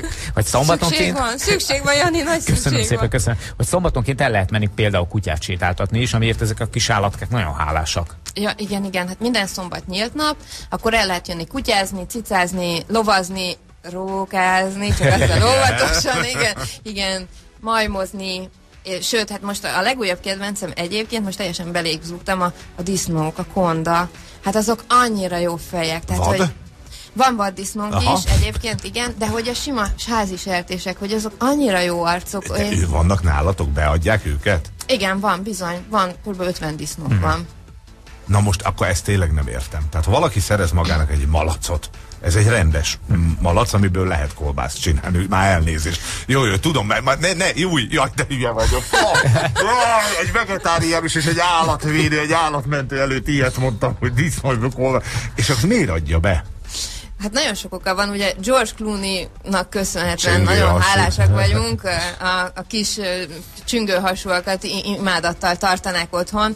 Nem, a disznó sem alkalmas arra, hogy lakásba tartsuk, tehát nem, nem Aha. alkalmas rá. Egyébként na, tényleg nagyon intelligens, tényleg nagyon jó pofa, tényleg egy, egy tiszta állat, hogyha hagyjuk, hogy tiszta legyen, de ettől függetlenül nem alkalmas rá. Tehát ö, nagyon sok megunt ilyen kis házi kedvencke van nálunk, De vannak hízódisznók is, akiket például mondjuk ott felejtenek egy tanyán. Aha, és akkor nálatok. Így van, így van. Legutóbb érkezett például Lapka malac, aki 23 kiló volt, egy felnőtt koca, aki a 10 kicsinyét szoptatta. Jézus. A 10 darab pici az jó kis dundika volt. Hát, mert anyu feláldozta magát. igen, konkrétan ölbe hoztuk ki a tanyáról, mert már nem bírt lábra állni. És ő ott volt a gazda, vagy mit eltűnt, elhalálozott, elköltözött, és ott Most lett? keresi a rendőrség. Azt meg is értem. Keresi a rendőrség, igen. Hát azóta a lapka már szépen kigömbödött, kiderült, hogy nem malac, hanem egy tapír és egy vaddisznó vagy egy víziló keveréke, mert úgy néz ki nagyon édes. és a, de tényleg nagyon annyira cuki feje van, meg teste, és a tíz pici meg már teljesen befoglalta a Noé gazdasági udvarát, úgyhogy nagyjából úgy néz ki, mintha 50 kis De fekete jó. malacunk lenne, és mindenhol ott vannak, és randalíroznak, de tényleg, tehát a disznók azok hihetetlen jó arcok. Akkor az örökbefogadható állatoknak a képe az fönn van, csillájával együtt gondolom, a honlapon, tehát meg lehet nézni. Így van. Rajta van a csilla? Igen. Gyerekek, nézd hát meg. ne Várj, halljuk őt a boxer, boxermentés oldalán keresd, aminek az a neve, hogy boxersos.hu. Várjál. boxersos.hu Hát most már gyerekek, mert itt sokan érdeklődnek a hallgatók közül egyébként. Azt mondja, itt van egy boxer, torna. Menjek lejjebb? Igen. Azt mondja, Isten veled, igen, ez nem az. Kapul egy gyógyógat. Ez? Igen. Igen. Miért nem mondtad ezt korábban? A cikk itt van. És akkor megnézzük Csillát, mert nagyon sokan érdeklődnek. Azt mondták, hogy többen kutya nélkül is vinnék, de úgy nem lehet. Igen, egy lábat látok, a kutyus már megvan, és Csillát keresem, Csilla sehol nincs. Ne csináld ezt velem, kérlek, Kinga. Jó, később megkeresem majd, és akkor utána beszámolunk róla, de hogyha valaki Mindjárt előjönnek a képek, és akkor ott lesz. érdekel a dolog, akkor ezen a bizonyos honlapon megtalálja. Igen, boxersos.hu oldalunkon megtalálja. Gyere már, Csilla, gyere, gyere, te nő. Nem jön, jó, jó, mindegy, aki akarja, az megkeresi uh, Csillát, és akkor megnézi. Egy százalék lesz hamarosan. Dolgoztok rajta, hogy ebből legyen pénz? Nagyon, nagyon. Tehát mi is, ahogy a többi állatvédő szervezet, nem kapunk állami támogatást, önkormányzati támogatást. A legfőbb bevételi forrásunk, Mhm. amiből fönn tudjuk tartani ezt a 8 hektárt, az 1000 állatot, az az adó 1 százalék, úgyhogy mindenkit arra biztatok, először is rendelkezzen, ne felejtsen el rendelkezni, és hogyha úgy gondolja, hogy az állatok, akkor nagy állatotthon is Igen, köszönjük. de ezt akartam mondani egyébként, hogy nyilván nem akarok lebeszélni senkit arról, akinek van egyébként egy évek óta támogatott szervezete, hogy a a beteg gyerekektől kezdve a szociális Minden cél jó, minden cél minden jó. cél jó. Én mindig azokhoz akarok szólni ilyenkor, akiket ezt így átugorják ezt a robotot, hogy. Á, nem jó az semmire az a pénz, dehogy nem, az a pénz az nagyon sok. És megdöbbentő adatokat lehet olvasni lehet. arról, hogy hányan nem rendelkeznek róla, tehát az megy a levesbe, hogy annyi mindent benyelnek, hát ezt azért már Még, ne még mindig az egyharmada azoknak, akik felajánlhatják, nem rendelkeznek, mert azt gondolják, hogy annyira kevés. De minden fillér számít, és a sok kicsi sokra megy, úgyhogy minden cél jó. Ha Neked az a legjobb, hogy a- Igen, ez a állatotthon Így van, a rovatban. így van. Jó van, Kinga, köszönjük szépen, hogy jöttetek, köszönjük szépen a, a rettenetes mennyiségű jószágot. A rókával azért még bizniszelünk egyet, jó? Hát ha. És- Adok cserébe egy elefántot. Ö, Van plüssből. Ö, hát már megbeszéljük. És nagyon szépen köszönjük, hogy segítettetek az állatokkal elnyomni a szagomat. és sikerült, és megmondom őszintén. 8 perc múlt fél tíz, hamarosan jövünk a nap legjobb pillanataival. 3 tíz lesz egy perc múlva, jó reggelt. Sziasztok! Igen, értjük a humort, hogy nálunk sok róka van, gyere Feri nyugodtan födörrel. 90-60-90 az mi lehet vajon? Kérdezi valaki ugye az előbbi hirdetéssel kapcsolatosan, amikor egy boxer mellé egy fő csilla is csatlakozik, mert most éppen eh, pár nélkül van. Aki komolyan érdeklődik Csilla és a boxer iránt, ajánljuk neki a Noé állatot. Így van, oljálatotthon.hu. 5 perc múlva 10 óra. Szia Csabi, jó reggel! Szia Csabi! Jó reggelt, szevasztok! Egész reggel azon dolgoztunk, hogy te a megfelelő körülmények között tudj kívánságműsort készíteni. Milyenek vagyunk? Hát ez az elvárás, ez a minimum. Köszönöm Ha, szépen. Szemét.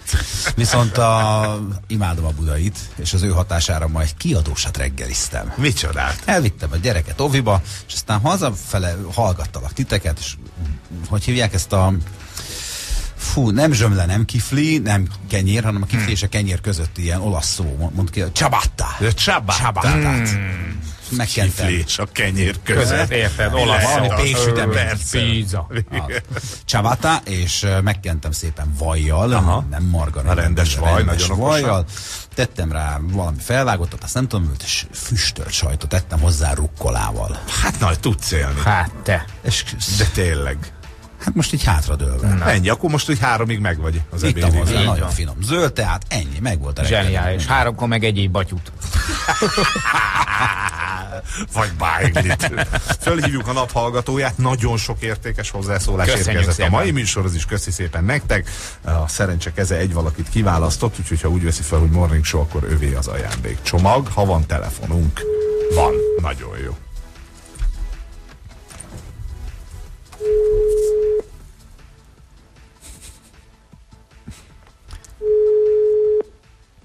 Még egyet? Valami azt súgja, hogy nem veszi fel. Te telefon viszont van. Az van. Telefonja van. Száma is van, de ideje nincs rá. Hát, Jó, akkor mondom, az SMS-t ugye a Budai Péter volt a vendégünk, és erre érkezett egy rea- reagálás Andristól. Nagyon szimpatikus, ahogy Mocsai Lajos beszél a magyar gasztronómiáról. nagyon jó. Andris, te vagy a nap hallgatója, nem vetted fel a telefont, úgyhogy az ajándék nem jár, csak a díj. Így jártunk. Így vagyunk. Na, megkérdeznénk, de nem kérdezzük meg, mert mi nem kérdezhetjük meg azt, amit ő Tudod, megkérdezhetne ezért tőled. aztán Ezért mi úgy kérdezzük meg, hogy ajánl nekünk valami jó dalt, Csabi, a kívánság Nehéz így, hogy a főnök nem fogja hallani, de akkor ajánlok egy Majd olyat, átadjuk amit, neki. Amit mindannyian szeretünk, és még talán ő is szeretné, ha hallaná. Aha. Két jó csaj együtt. Hát ez főleg a. Rihanna-nak. Jó, a Shakira meg a Rihanna együtt. Nős férfi a kálma.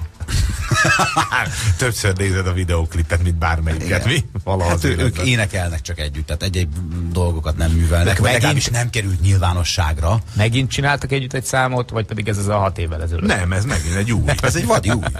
De, de egyébként, amikor ők először össze ö, jöttek, igen, Igen. igen, igen, összebútoroztak, akartam volt mondani, de hogy összejöttek egy szám erejéig, meg készítettek hozzá egy videoklipet is egyébként, ami olyan mozgáskultúrát adott elő mind a két lány, hogy tehát érted. Igen, ott lettünk volna, értjük. A, no, és akkor szaftot, akkor így a kis kenyérrel így ki, nyom, nyom. Szóval az, az, az, az egy világszenzáció volt, de akkor ezek szerint van egy újabb. Van egy újabb, és ráadásul pont ezt mondta a Shakira, hogy a Rihannától ő pedig azt gondolnánk, hogy fordítva van, olyan tánclépéseket tanult el. Ezt neked mondta, vagy pedig Persze, a dumálgattak itt délután. Persze, múltkor mondta, hogy figyelj, lejátszátok ezt a dalt, mert hogy, hmm. Na, mert olyan lépéseket tanult. A mellettre ülök, na, adjátok le. És hogy ő tanult olyan tánclépéseket a Rihannától, amiről, amit aztán majd későbbiekben fog tudni hasznosítani színpadon. Nem, azok nem tánclépések, csak megbotlott. A melledre ülök. 06 555 55 00, ez a telefonszáma Csabinak és a kívánság műsornak. Az Kérjétek. működik? Működik. Micsoda, itt minden oké, működik, rendben. Csabi. Renováltuk, Helyes. kifestettük, átszellőztettük, csak a tiéd a stúdió. Akkor Nekünk mehettek. nem jutott itt hely ma reggel, de most már visszaadjuk. Holnap reggel megjövünk mi is. Így van, még mindig duóban, mert Balázs két napra lécelt le, értitek, ugye? Jaj, de jó! Holnap holnap ugyanilyen jókkal jövünk. Ja, Istenem, de jó lesz. Egy, egyéb batyut.